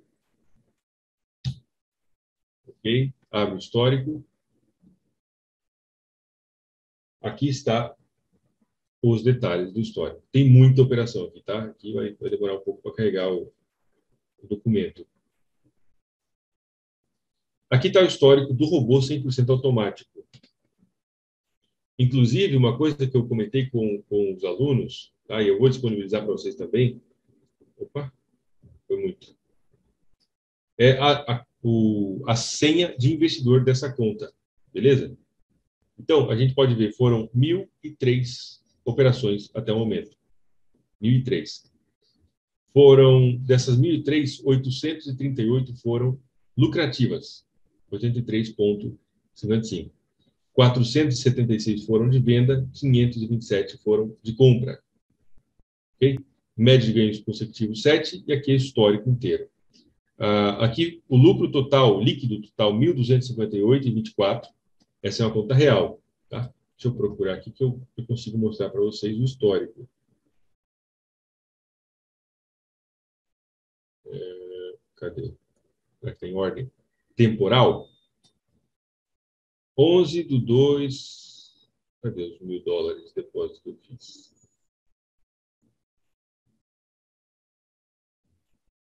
É, não vou encontrar agora, não. Eu mostro aqui na própria plataforma, tá? Então, aqui, aqui na plataforma, tocar por lucro, olha aqui, no dia é, 11 do 2, foi feito um depósito de mil dólares. Tá? Nesse momento, as operações somam, né, menos as operações abertas, menos 710 dólares. Mas eu coloquei mil dólares e desde então já tem 1.548 líquido. Beleza? Estou trazendo todos esses detalhes, essas informações. Quem se inscrever na mentoria entre até sexta-feira vai receber essa uma versão do robô automático. Beleza? Ah, você vende só robô automático? Não vendo. Eu não vendo. Eu não quero vender robô. A minha ideia não é vender robô. Beleza? Não tenho intenção de vender robô nenhum. Eu gosto, gosto de ser mentor. Eu gosto de ser mentor. Eu gosto de ensinar. Gosto de explicar. Gosto de ver as pessoas uh, melhorarem, encontrar esse resultado. E gosto de ganhar por isso também, que eu não sou bobo nem nada. Porém, né, então eu não vendo robô. Beleza? Ah, mas e o robô semiautomático? Você vende? Também não vendo. A única forma de você adquirir né, o robô automático ou o robô semiautomático, né, os dois no caso, é fazer na mentoria, porque eu tenho certeza do que eu vou te ensinar, eu tenho certeza da gestão de risco, eu tenho certeza do conhecimento que eu vou te passar e você vai só vai fazer cagada se você quiser. Aí é outra coisa. Aí se você quiser fazer merda, aí você vai fazer, beleza? OK, tudo bem. Mas pelo menos que você saiba o que você está fazendo. Agora, o que eu não vou pegar é uma ferramenta extremamente avançada, com gerenciamento de risco extremamente avançado, como é o, tanto o robô automático quanto o robô semiautomático, e passar para uma pessoa que não entende nada e acha que achou ali o país das maravilhas e vai conseguir fazer né, 100% do mês. Absolutamente não. Então, se você entender o que tem por trás, sim, aí sim, você, né, isso é só entender através da mentoria. Beleza?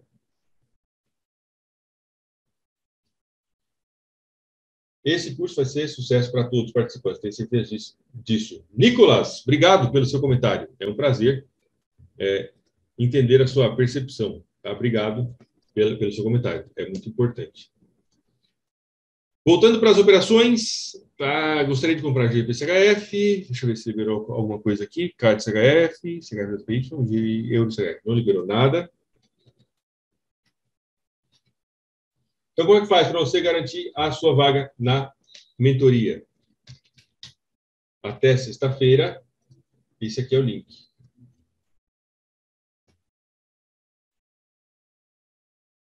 Acabei de mandar, tá? JC. As entradas do robôs automáticos são baseadas no Razor? Em qual time frame o robô opera? As entradas eh, têm dois tipos de configuração no robô. Tem dois tipos de configuração no robô e tem vários filtros. Você pode criar sua estratégia baseada no Razor ou em um outro modelo operacional. Então, é, eu vou apresentar todos os detalhes de, de cada uma das, das, funcionalidades do robô dentro da mentoria. E você vai poder escolher utilizar o sinal do Razor como critério de entrada, ou você vai poder utilizar um outro formato que eu chamo de High Risk, que basicamente é um, um, um, um formato seguidor de tendências. Ele vai seguir tendências. A ideia é seguir tendências. Tá? Então, ele pode operar tanto de um lado quanto do outro. Ok? O euro SD, seria interessante comprar euro SD, mas eu não posso comprar. Não posso comprar porque já tenho três operações envolvendo euro. Fico de fora. O que mais? O que mais? O que mais?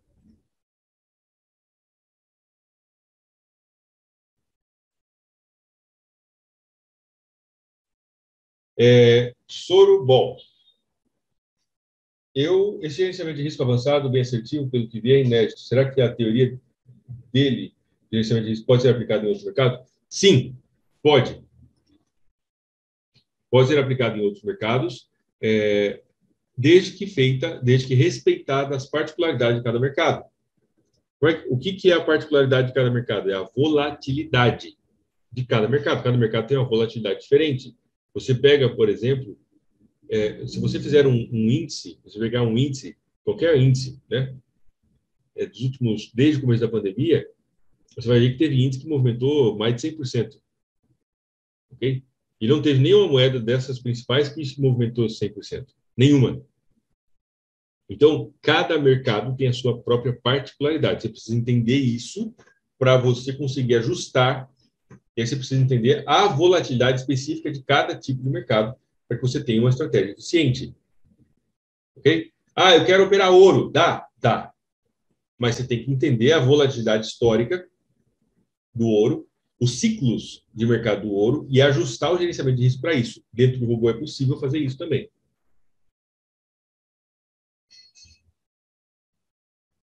É, sim, tem sim. Cadê? Deixa eu pegar aqui. É, eu ia mostrar, acabei esquecendo. Me, eu comecei devagar aqui e acabei esquecendo. Essa conta, eu coloquei para essa conta, tá? É uma conta de 5 mil, está nesse momento com 5.475 dólares, tá? Ela está com 32% de rentabilidade desde o começo. É, e a gente pode ver aqui, até o ano passado, eu estava operando de forma manual. Janeiro, quase não operei, operei pouco nessa conta. Em fevereiro, eu coloquei robô para rodar de forma 100% automática. Aqui é o robô que está operando de forma 100% automática, de forma bem conservadora. Tá? Então, aqui está no formato bem conservador. Está com 8,10% o robô. Só para confrontar a, a, realidade aí, tá? É, dessa conta, é essa conta aqui, ó. Essa aqui é a conta, tá? Olha lá, 5.475. Eu mudo a cor de fundo ele está no modo automático. Você, né, dá para a gente ver aqui, ó, o botão de compra e de venda da boleta está desativado. Então, se eu apertar aqui para comprar ou vender, não, não, funciona. Ó, não compra, não faz nada. Tá? O botãozinho aperta, mas ele não, não compra. Por quê? Porque está no modo automático. Só para só só orientar, tá? Aqui, ó, tá vendo que está cinza, né? Beleza. Significa que está no modo automático, está desativado os botões. Na conta de trading com vocês, o botão fica azul em vermelho. Certo? Então, aqui está no modo automático. Tá? É, hoje, ele já deu take. Vamos ver quanto ele já deu de lucro nessa conta? A conta de 5.475 dólares. Vamos ver hoje. Ver se está o, o dia de hoje. Ok? O dia de hoje. Hoje, essa conta de 5.475 dólares já deu 27,42 de lucro, meio por cento, né? Meio por cento? Vou fazer as contas. 27,42 dividido por 5.475,81. Meio por cento. Deu meio por cento hoje, tá? Essa conta. A conta real também. Tá? Inclusive, se eu abrir aqui histórico, histórico completo, lucro, Ó, já teve dois saques, um de mil e outro de 200 dólares. Deixa eu ver se eu abro aqui o histórico para vocês, essa conta.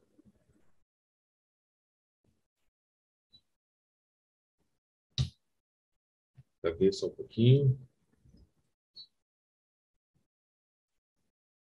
Aqui o histórico inteiro dessa conta.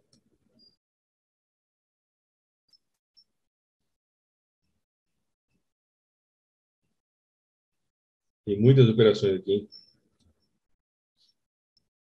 Tá. Esse é o histórico completo dessa conta. Teve dois saques. Cadê aqui? Vou aumentar. É, lucro líquido total, 1.480 dólares e 81 cents. Foram 883 operações, é, 97% de taxa de acerto. Ok? E isso aqui, basicamente, são saques. Teve, também teve, teve stop, operação que eu fechei, tá? Mas é, são saques. Então, a gente pode ver que o lucro líquido total está no positivo. É basicamente essa conta. Durante esse mês de fevereiro, ele está já operando no modo 100% automático, sem qualquer intervenção, nada, nada, nada, nada, nada, zero. Ok? Essa conta também está no MQL5, eu mando para vocês agora. Isso aí.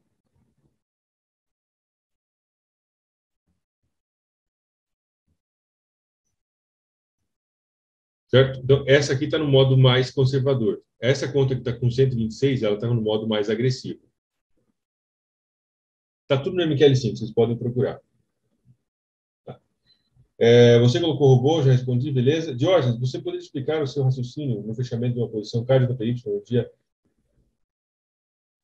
É, cardio no dia 7 do 10, 14 15 na conta de 20K? Marcelo Gomes, cadê? Deixa eu ver, conta de 20K. Você está vendo isso no MQL5, é isso? Histórico de negociação. Cadê? 10 de 20, 20, 21. Vou ter que procurar isso aqui, deixa eu ver se eu acho. Uh, não, 10 do 7, né? Carga Foi saque. Eu não estou encontrando esse trade, não, é? 7 de outubro de 2021, cara, eu TPY 20K. 7 de outubro, está aqui. Cardio TPY. É essa operação? Não sei se é essa operação que você está querendo se referir, Marcelo. É, cadê? Essas foram as operações do dia que você referiu, ó. 7 de outubro de 2021, tá? KJPY tem essa operação. Deu 5,73.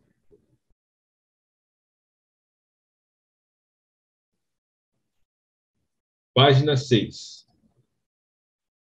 Na página 6 não tem resultado nesse dia.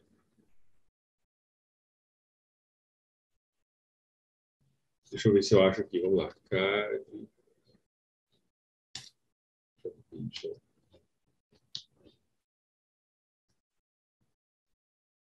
KJPY, céu, cara, não vou conseguir encontrar, tá? Pela data que você falou aí, vai ser as superações aqui do dia 10. É, KJPY, o histórico está aí, agora. O histórico está aí, mas é, eu não, não, não, consigo encontrar essa operação que você está falando aqui no histórico, tá? Talvez o histórico aqui mostre de um jeito diferente. Enfim, não sei. Dá uma olhada aí, se quiser mandar no, no WhatsApp, você pode mandar que, que eu, eu, pesquiso, tá? Manda a imagem, e aí eu, eu pesquiso.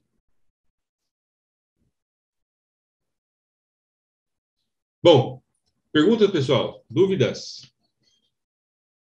Deixa eu colocar aqui meu WhatsApp, né? Se, se alguém quiser mandar alguma mensagem no WhatsApp, vou colocar o link direto, tá? Cadê o endereço?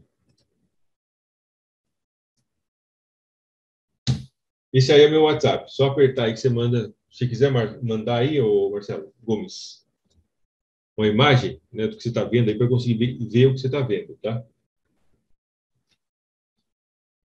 HF, estou comprado, está vindo a favor, ótimo. O que mais? SD, estou aguardando que ele caia um pouco mais para que eu possa comprar. Me interessa comprar aqui embaixo, no 38.2. É, ao DJPY, estou vendido desde a madrugada. Está. Aqui foi a primeira parte, aqui foi a primeira adição. É, é incrível, incrível, inacreditável. Quando eu falo, quando, até quando eu lembro, né? Como é que era o meu operacional algum tempo atrás, quando eu falo para as pessoas o tanto que eu não me importo mais com um flutuante negativo. Eu compro, eu já estou esperando o mercado cair. É, e isso, isso eu acredito que é uma coisa importante entender, no sentido de é, você aceitar a realidade do mercado. Aceitar a realidade do mercado. Aquilo que o mercado está mostrando para você, para mim, de forma clara. O que, que o mercado está mostrando para a gente? Ele tem uma natureza, alguns aspectos do mercado podem ser entendidos através de padrões. Outros aspectos do mercado têm uma natureza aleatória muito forte. E essa aleatoriedade se apresenta em que muitas vezes está tudo certo na sua análise, mas o mercado decidiu andar mais um pouco contra você. O timing é importante. Às vezes eu compro e o mercado cai imediatamente. Às vezes eu vendo e o mercado sobe. E, cara, isso é, é muito legal quando você entende a estratégia, porque isso basicamente te dá muita, é, te dá muita tranquilidade. Dá muita tranquilidade para você conseguir operar de forma eficiente. Então, ao DJPY vendi, está na configuração 1 mais 1 por enquanto, bem tranquilo. É, que mais? Ao DCAD, eu gostaria que ele caísse um pouco mais, pelo menos. Né? Pelo menos até a zona dos 50%. Aqui, ó. Essa região seria interessante para comprar. Importante, eu entendo que o ALDECAD vai subir, mas essa tendência de alta no gráfico de uma hora já está um pouco envelhecida. Então, seria interessante ele retrair um pouco mais para que eu comprasse mais barato. Ou eu compro barato, ou eu não compro. Isso tem que estar claro. GBP, NZD, me interessaria vender. Para isso, ele teria que voltar pelo menos até a região dos 50%. Essa estrutura de queda, retração mais fraca, 50%, para pensar em possível venda. O SDJPY, eu me interessaria pensar em possível venda no SDJPY, porém, meu gerenciamento de risco não me permite. Já estou em uma, duas, três operações que envolvem o IEM. Não posso entrar em mais uma. O SDCAD, eu gostaria de comprar o SDCAD lá, aqui embaixo, ó. Aqui embaixo. Onde ele está? Ele está muito no meio da lateralização. Isso aqui é o que o Hector Deville chamava, deve chamar ainda, de terra de ninguém. O que é terra de ninguém? É aquela região de preço onde não tem nem domínio de vendedor, nem domínio de comprador. Está na metade do caminho. Terra de ninguém. Se ninguém quer estar tá lá, você também não, né?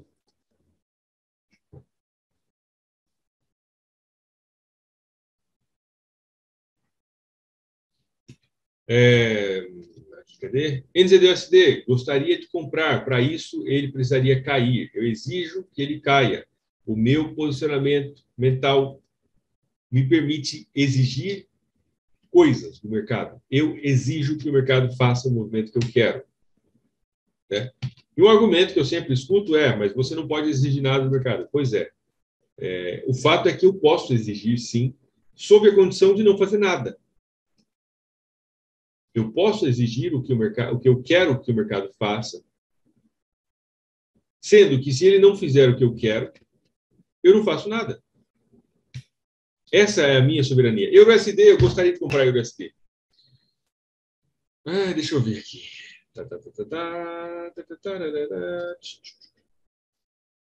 Aqui, ponto de suporte. Ponto de suporte. Está muito bonito, hein, cara? Está muito very beautiful. Deixa eu ver se o movimento de queda. O tic-tac para pensar aqui. Tem chance de alta. O tamanho do movimento é de 500 pips, é um movimento muito grande de queda, né? Eu vou seguir minha gestão de risco, tá? Eu gostaria de comprar a EURUSD, eu compraria a EURUSD, ah, porque ele fez, né, tocou nesse ponto de suporte, porém, a gente pode observar, a gente pode observar que é, eu já tenho três operações que envolvem o euro, então não posso entrar mais nenhuma agora sob o risco de aumentar minha exposição em euro. Também gostaria de comprar euro NZD. Muito importante, lembre-se sempre da sua gestão de risco.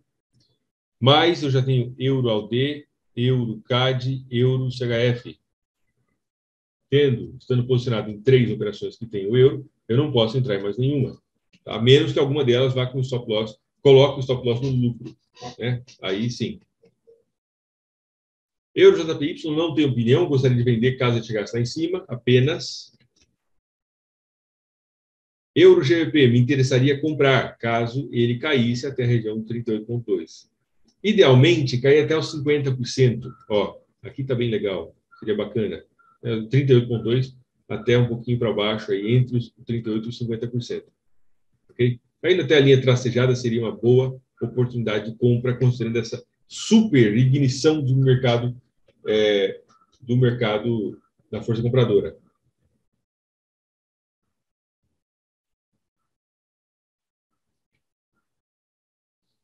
Euro CHF, estou comprado, mantenho minha compra. Eurocad, comprei aqui nesse ponto, o mercado caiu um pouco, fez uma adição. E agora, apenas aguardar o mercado fazer o trabalho dele. Deixa eu ver é está a conta de alto risco. O teste, né, o desafio que eu fiz aqui com vocês. Está bem tranquilo? É muito interessante ver isso aqui na prática, cara, porque é muito legal. Eu acho muito bacana. Dúvidas, pessoal? Perguntas? Saindo agora notícia que explosões no centro da cidade separatista na Ucrânia.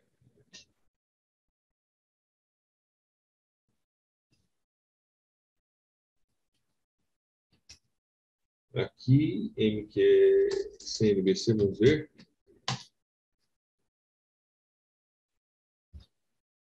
É, por enquanto não saiu.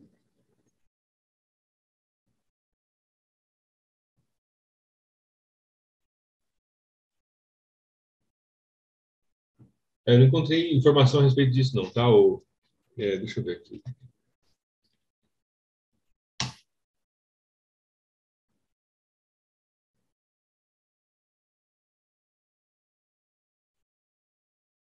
É, não encontrei informação a respeito disso, não, tá?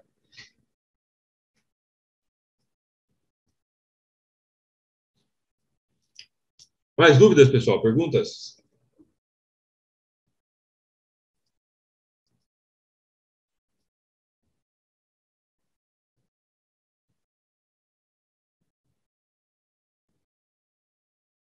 É, não sei por que. É, Para mim não apareceu, não apareceu no histórico, não, tá, o, o Marcelo?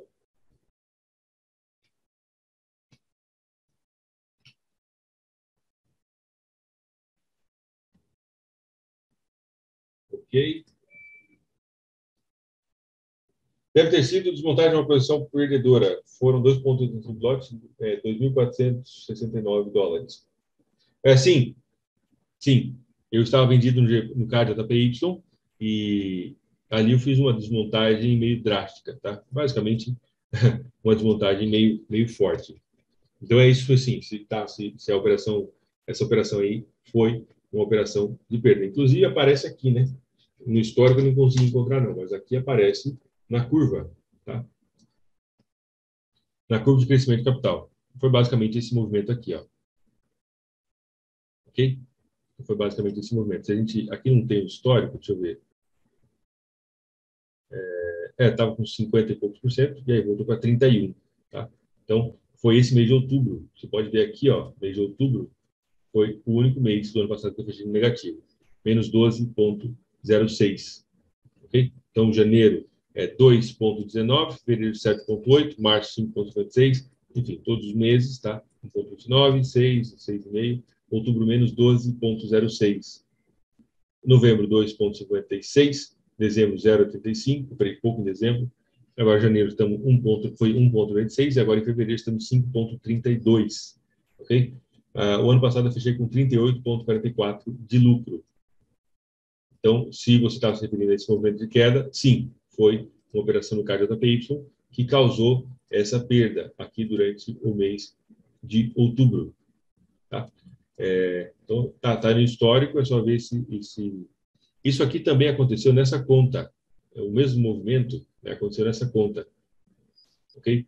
Que teve, aqui teve alguns saques, entre saques e perdas, etc. Então, em outubro também fechei no negativo. Essa conta aqui foi um drawdown menor, 2,58. Não está aparecendo aí. Deve estar tá aparecendo. 2,58. Nessa conta, comecei em julho, Isso aqui é uma conta do meu pai, né, é do meu pai, e fechei em 22,41. Tá? Em fevereiro está em 8,10. Até, até outubro, até janeiro, estava operando de forma manual. Aí agora, em, em fevereiro, coloquei no modo 100% automático. Inclusive, já está a rentabilidade de fevereiro já ultrapassou todos os meses anteriores, né? a maior tinha sido em setembro, 7%, agora está 8,10%. Eu acredito que vai chegar nos 10% aí esse mês. Ok? Então, sim, é só entrar aí o histórico, você vai ver, as operações teve essa quebra, essa diminuição né, do saldo que aconteceu por aqui, e o mês de outubro fechei em negativo. O único mês uh, de 2021 que eu fechei em negativo. Certo? Mais dúvidas, pessoal? Perguntas?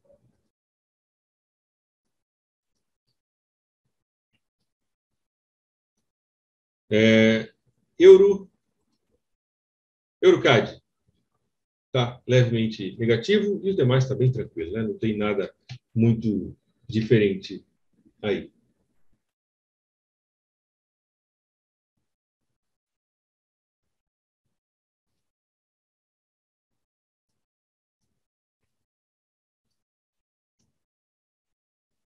Euro GBP voltando, pode ser que dê uma compra. Euro CHF retomando o movimento de alta.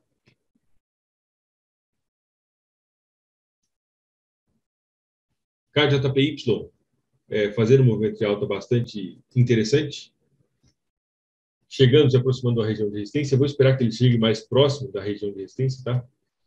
Ah, aí no CAD JPY se aproximar aqui mais 91,39, mais ou menos. Não, Marcelo, eu faço somente. Na época, eu fiz até somente até, é, até quatro. Ok? Basicamente, eu usava um lote diferente. Estava com um lote maior inicialmente, e aí foi até quatro adições.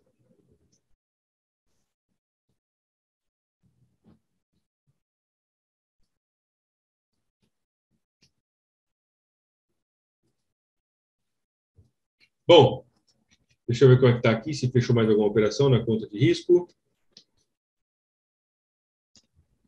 Por enquanto, não.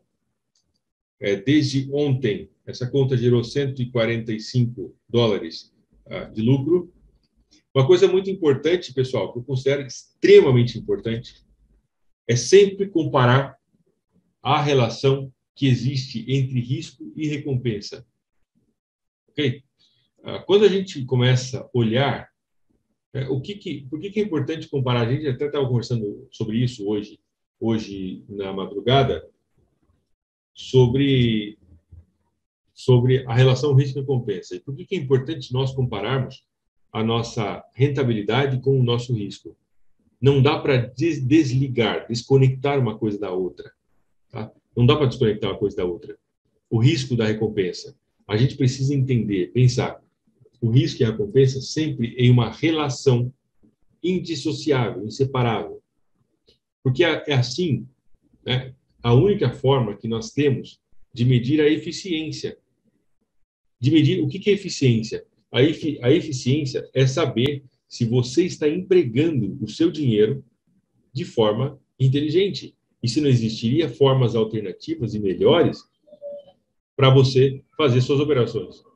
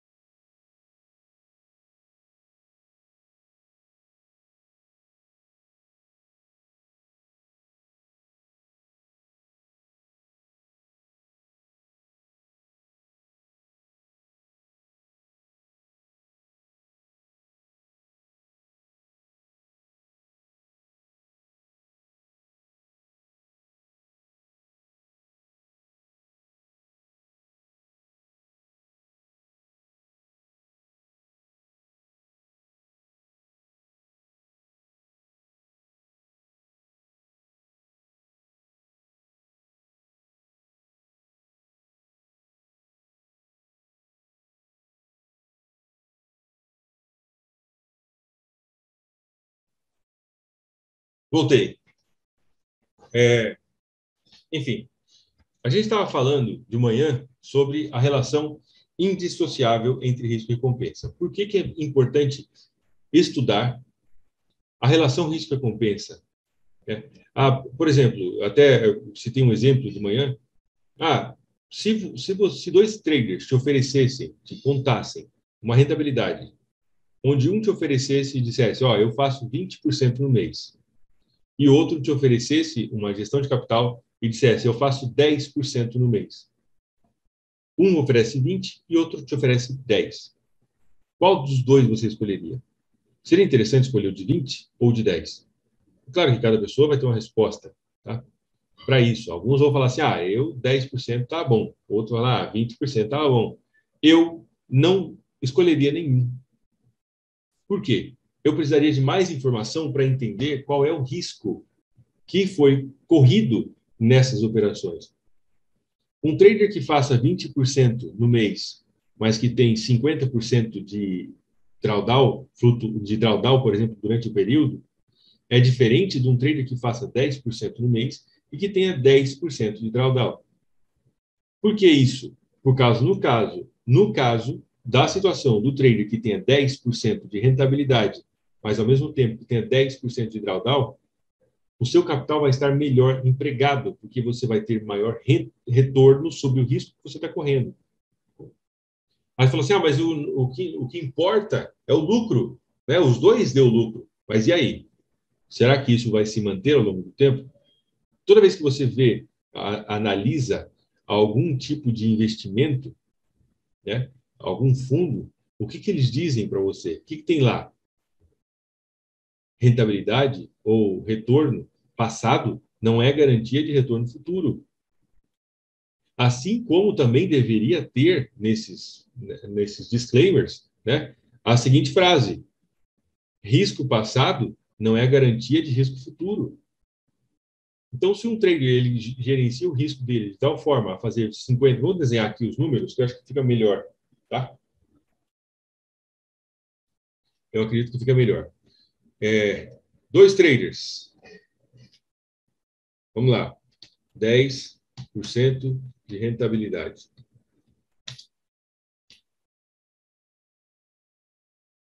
E o outro tem 20% de rentabilidade. Qual dos dois? A melhor resposta para isso é você estudar o quê? Drawdown. Agora, imagine que esse cara tenha 10% de drawdown. Ok? E esse cara tenha. É, aqui, vamos imaginar que ele tenha 40% de drawdown. Em qual das duas situações o seu dinheiro está melhor aplicado? A taxa de eficiência, mais, que, mais conhecida como Kalmar Ratio, basicamente divide, né, busca dividir a sua rentabilidade pelo drawdown.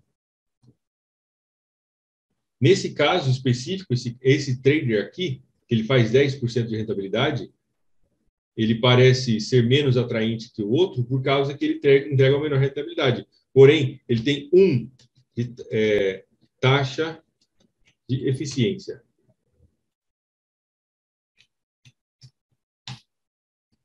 E esse outro cara, o que, que ele tem? Ele tem meio, 0,5 de taxa de eficiência. Isso significa que, dentro desses dois, entre esses dois traders, esse cara, esse primeiro, vou chamar de A, vou colocar aqui para dar nome aos dois.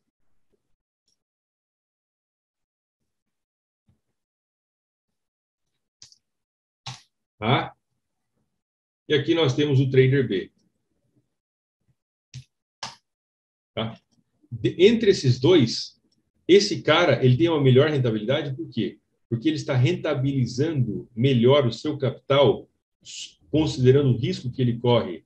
Porque para cada um dólar que ele expõe ao mercado em termos de risco, ele consegue extrair 10% de rentabilidade. Ou seja, para cada um dólar que ele expõe ao mercado em termos de risco, ele extrai um dólar de rentabilidade. Esse trader, para cada um dólar que ele arrisca no mercado, ele está extraindo meio dólar de rentabilidade. Como é que. Ah, mas eu, esse aqui está ganhando mais. Né? Esse aqui está tá ganhando mais. Está ganhando mais. Porém, se esse trader A aumentasse o drawdown dele, é claro que não é uma. A, a relação de recompensa não é um estudo linear. Se ele aumentasse o drawdown dele para 40, esse cara ele ganharia 40%. Se a gente fosse pensar de forma bem grosseira, tá? Pensar o gerenciamento de risco de forma bem grosseira, seria isso. Se ele aumentasse o drawdown dele, o risco dele para 40, a rentabilidade dele poderia aumentar mais ou menos aí de forma bem contra de padaria, não é assim que funciona, mas desse formato para a gente pensar, iria para 40% de rentabilidade. Então, a eficiência da aplicação do capital se dá através dessa, dessa comparação da taxa de eficiência. E não dá para a gente pensar o gerenciamento de de forma eficiente, de forma saudável, se a gente considerar isso. É por isso que escolher a melhor rentabilidade nem sempre é a melhor escolha. Ah, mas o que importa é que ele ganhou. O problema é o seguinte: o mercado faz distorções. Aqui está o problema, né? Aí, às vezes, algum argumento, que até seria um argumento é, para se pensar inicialmente, é falar assim: ah, mas esse cara teve 40% de drawdown, mas ele conseguiu entregar 20% de retorno. E esse 40% de drawdown não se concretizou. É verdade. É verdade. Isso é verdade. Esse cara teve 10% de drawdown, ele entregou 10% de retorno, né? mas o drawdown de nenhum, ou seja, o risco de nenhum dos dois se concretizou. O risco de nenhum dos dois se concretizou. Então, quer dizer, esse drawdown de 40 ele passou, e o cara foi lá e conseguiu entregar 20. Então, não é melhor um, um, uma pergunta, né? Não seria melhor pensar no gerenciamento de risco? Não seria melhor investir no cara que entrega 20, em vez de investir no cara que entrega 10? Mesmo ele correndo mais risco, porque afinal o risco não se concretizou mesmo. Pois é. Agora vem a pegadinha, né? A pegadinha do mercado. Pegue, por exemplo, um par como o EuroALD, que na crise do Covid fez esse candle que em um único dia Vamos voltar aqui. Em um único dia, esse, esse o EuroALD movimentou 1.780 pips. Em um único dia.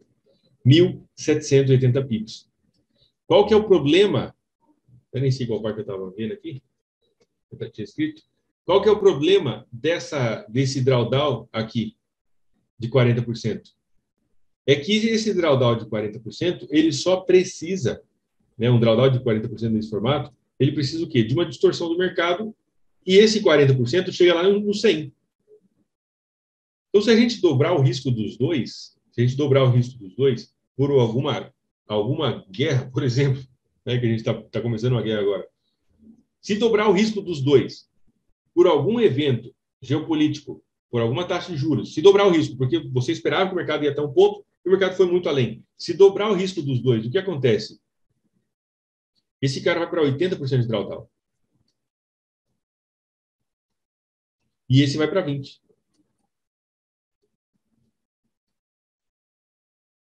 Se multiplicar por 3, você já sabe onde vai dar, né? Se multiplicar esse drawdown por 3 por algum evento extra, fora, que não está sob o teu controle, se multiplicar o risco desse cara, dos, dos dois, você multiplica por três, porque o mercado movimentou três vezes mais do que aquilo que você esperava que ele movimentasse. Esse cara vai para 120% de drawdown, o que não existe, porque com 100%, né, inclusive menos ainda, você toma um margin call, você perdeu a conta. 120%, e esse cara vai para 30% de drawdown. É por isso que não dá para olhar somente para a rentabilidade e esquecer todo o resto. Porque senão você não tem a menor ideia do risco que você está correndo. E você precisa saber, pelo menos ter uma ideia do risco que você está correndo. Vocês entenderam? Ficou claro isso para vocês?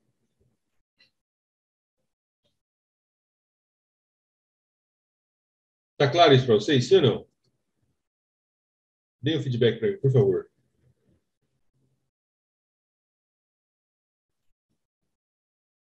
Então, a gente não pode pensar o gerenciamento de risco única e exclusivamente através, né, porque daí não é gestão de risco, aí é sorte. Se você pensar o gerenciamento de risco somente através do resultado final esperado, aí não é gestão de risco, aí você está só olhando para o lucro. E você tem que olhar para o risco. Ficou claro aí para vocês, pessoal? Deixa eu verificar aqui se está. Se tá, se estão recebendo meu áudio aí. É por isso que é importante a gente entender. Ah, mas eu quero, eu quero 20%. Ok? Busque uma forma de melhorar a relação entre o retorno e o risco, a recompensa e o risco. Nesse caso, esse cara é muito mais eficiente.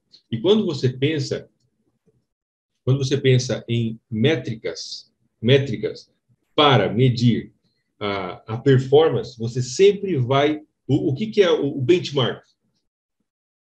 Alguém aí não sabe o que é benchmark?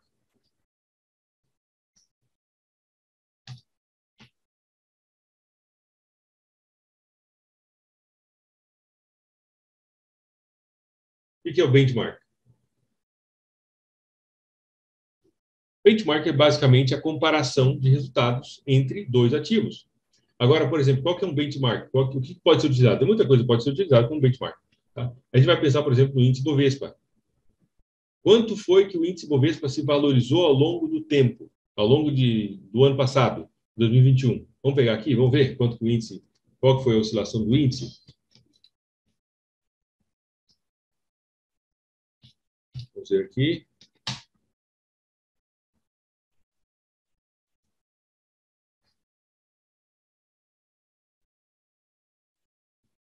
Ok, for no gráfico semanal.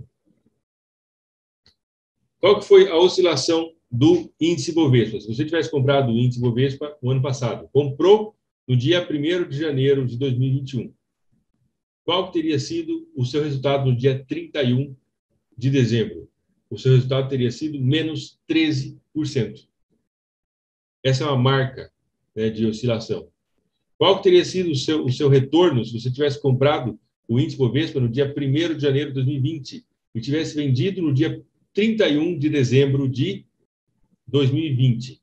Vamos pensar nisso aqui, é importante, tá? Vou pegar aqui o 2020 porque é, é muito importante essa métrica entre, entre relação risco-recompensa.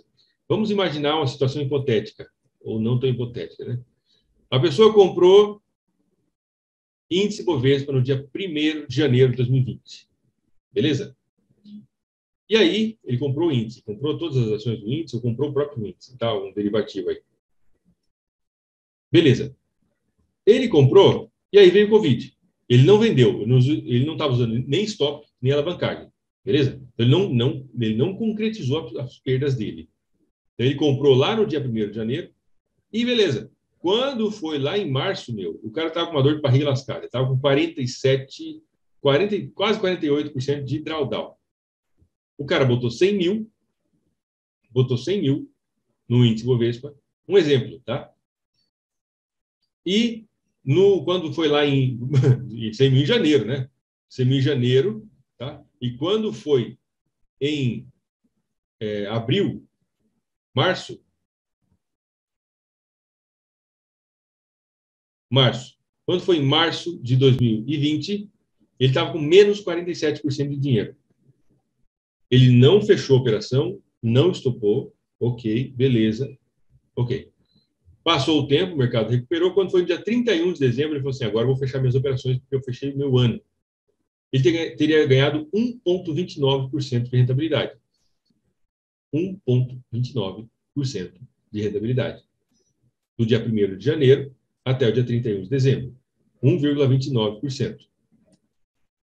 Qual que é a taxa de eficiência, ou seja, quanto que ele conseguiu extrair do mercado para cada dólar arriscado? Como é que você faz essa, essa conta? Nós fazemos 1,29 dividido por 47,7. Para cada um dólar, ou cada um real, vamos pensar em real, tá? Para cada um real que esse cara colocou no mercado, ele arriscou um real e ele conseguiu extrair 0,0. Vou arredondar, dá uma chance para ele, né? Aqui arredondar 0,03. ele conseguiu extrair 3 centavos de rentabilidade para cada um dólar que ele arriscou. Mas, ah, mas valorizou tal, a valorização do dinheiro dele. Isso aqui é 3 centavos pelo risco que ele correu. Pelo risco que ele correu. Se ele tivesse usando alavancagem, teria, teria é, tido o potencial de quebrar a conta. Se ele tivesse a, a, alavancado em três vezes aqui, né, 47, ó, 47 pontos, 47 pontos, não, vou fazer certo, 100 dividido por 47,7. Se ele tivesse arriscado um pouquinho mais do que duas vezes, na compra aqui, ó, ele teria quebrado a conta no processo.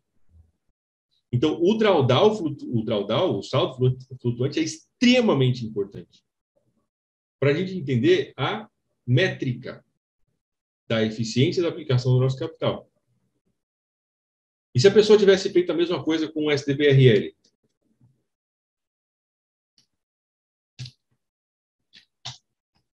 Qual teria sido o resultado? Vou pegar tirar esse robô aqui que não serve para nada nesse momento. Qual teria sido o resultado? Dia 1 de janeiro de 2020. Ó, aqui a gente tem outra coisa, né? o lucro que ele deixou de, de, de ganhar. Só que se ele tivesse comprado no dia 1 de janeiro de 2020 e fechado no dia 31 de dezembro de 2020, ele teria, teria ganhado 27%, sendo que no ponto máximo teria sido 47% de rentabilidade sobre o capital dele ok? E qual que foi o risco dele? Basicamente, o risco foi essa oscilação que aconteceu nesse período. É por isso que é vital, é da mais alta importância entender a relação que existe entre o risco e recompensa. E a relação que existe entre risco e recompensa não é linear, onde eu aumento um de risco e aumento um para recompensa. Por quê? Porque existe um elemento incerto oculto, obscuro sobre o risco. E o Howard Marks, deixa eu ver se eu acho o livro aqui. Tá, esse livro aqui, ó. Tá até meio sujo, hein, meu? Ó. O mais importante para o investidor. Leiam esse livro. Dica. Dica master, tá? Leiam esse livro. Leia esse livro. Para que ler esse livro? Para você entender um pouco mais a respeito da real natureza do risco no mercado financeiro. Leia. Howard Marks, o mais importante para o investidor. Leia, tá? Entre outras coisas, deixa eu ver se eu acho aqui um pedaço que eu tinha escrito, anotado. Deixa eu ver aqui. Uh,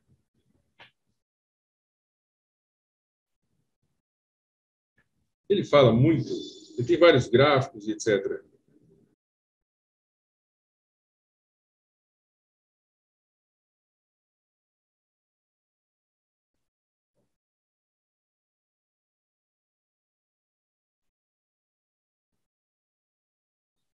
Enfim, eu não vou conseguir. O risco de investimento é principalmente os preços muito altos.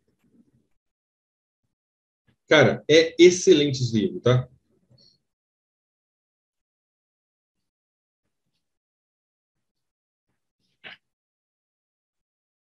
Aqui, achei. Eu não sei se vocês vão conseguir ler aí, tá? Mas eu vou ler para vocês aqui ao contrário mesmo. Risco significa que podem acontecer mais coisas do que as que acontecerão. Risco significa, não sei se está espelhado também ou não. Risco significa que podem acontecer mais coisas do que as coisas que acontecerão. E ele fala exatamente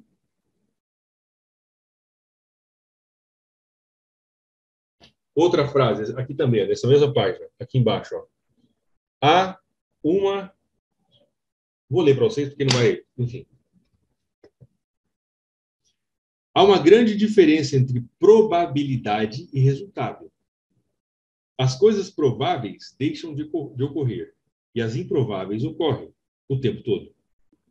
Essa é uma das coisas mais importantes que se pode saber sobre risco em investimentos. O que, que ele quis dizer aqui, meus caros jovens, nobres, coaches e senhores, pessoas? Ele quis dizer que Quando você entra em uma operação, o fato de não ter acontecido nada errado não quer dizer que o risco não estava presente. Entendeu? Quando você entra em uma operação, o fato de não ter acontecido nada errado não quer dizer que o risco não estava presente. E essa é uma das características do risco. Ele é escorregadio, é difícil de você conseguir capturar. Na verdade, ele fala que é, entender o risco na sua totalidade é impossível. É impossível entender o risco na sua totalidade, conseguir mensurar totalmente o risco. Por quê? Porque eu comprei, o mercado subiu, deu take. Ah, então beleza, nossa, eu posso fazer. Não.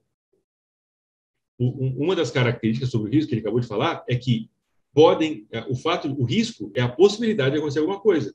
E o fato de não ter acontecido essa alguma coisa não quer dizer que o risco não esteja presente e que ele não vai se manifestar na sua próxima operação. É por isso que é importantíssimo nós entendermos, compararmos a rentabilidade sempre comparado com o risco que foi corrido para chegar naquela rentabilidade. E não olhar e falar assim, ah, eu pego de 20%. Não, peraí, velho. Se o cara está fazendo 20%, mas ele está com 70% de drawdown, basta o mercado dar uma esticadinha a mais e quebrou esse cara. E levou meu dinheiro embora, junto. Agora tem um cara que faz 5% ao mês. E o drawdown máximo dele aí é em torno de 5, 8, 10%. Pô, bacana, se o mercado der uma esticada, não quebra esse cara. Porque o risco é exatamente o estudo das coisas que podem acontecer, mas que talvez não aconteça naquela ocasião. Mas que sempre vai existir a possibilidade de você do de acontecer se concretizar. Ok? Ótimo. Wesley, hoje estou fechando com 32% desde o início do mês, com um drawdown atual de 7,17. Ótimo, parabéns. Pessoal, me estiquei um pouco mais, me, me, me estiquei um pouco mais. Amanhã teremos live novamente. Quem quiser operar ao vivo comigo durante 12 meses, entendendo todas as minhas métricas, entendendo o meu método, entendendo profundamente o meu gerenciamento de risco de forma clara, absoluta, você sabendo exatamente o que fazer em todas as situações do mercado, copiando as minhas operações de forma 100% transparente, operando ao vivo comigo e eu respondendo as suas dúvidas 3 horas e 45 minutos por dia, de segunda a quinta-feira. Esse é, a, é, essa é a tua chance. Tá? Até sexta-feira as inscrições da mentoria estão abertas e a partir de agora valendo já para quem se inscrever na mentoria até sexta-feira, vai receber também o robô de trading automático. Beleza? Para você colocar para rodar na sua conta, vai ter um módulo inteiro sobre o robô automático e como você uh, testar o robô, colocar fazer os backtests, tudo aquilo que você precisa fazer. Certo? Então, basicamente é isso. Um forte abraço para todos. Deixa o like, que é muito importante.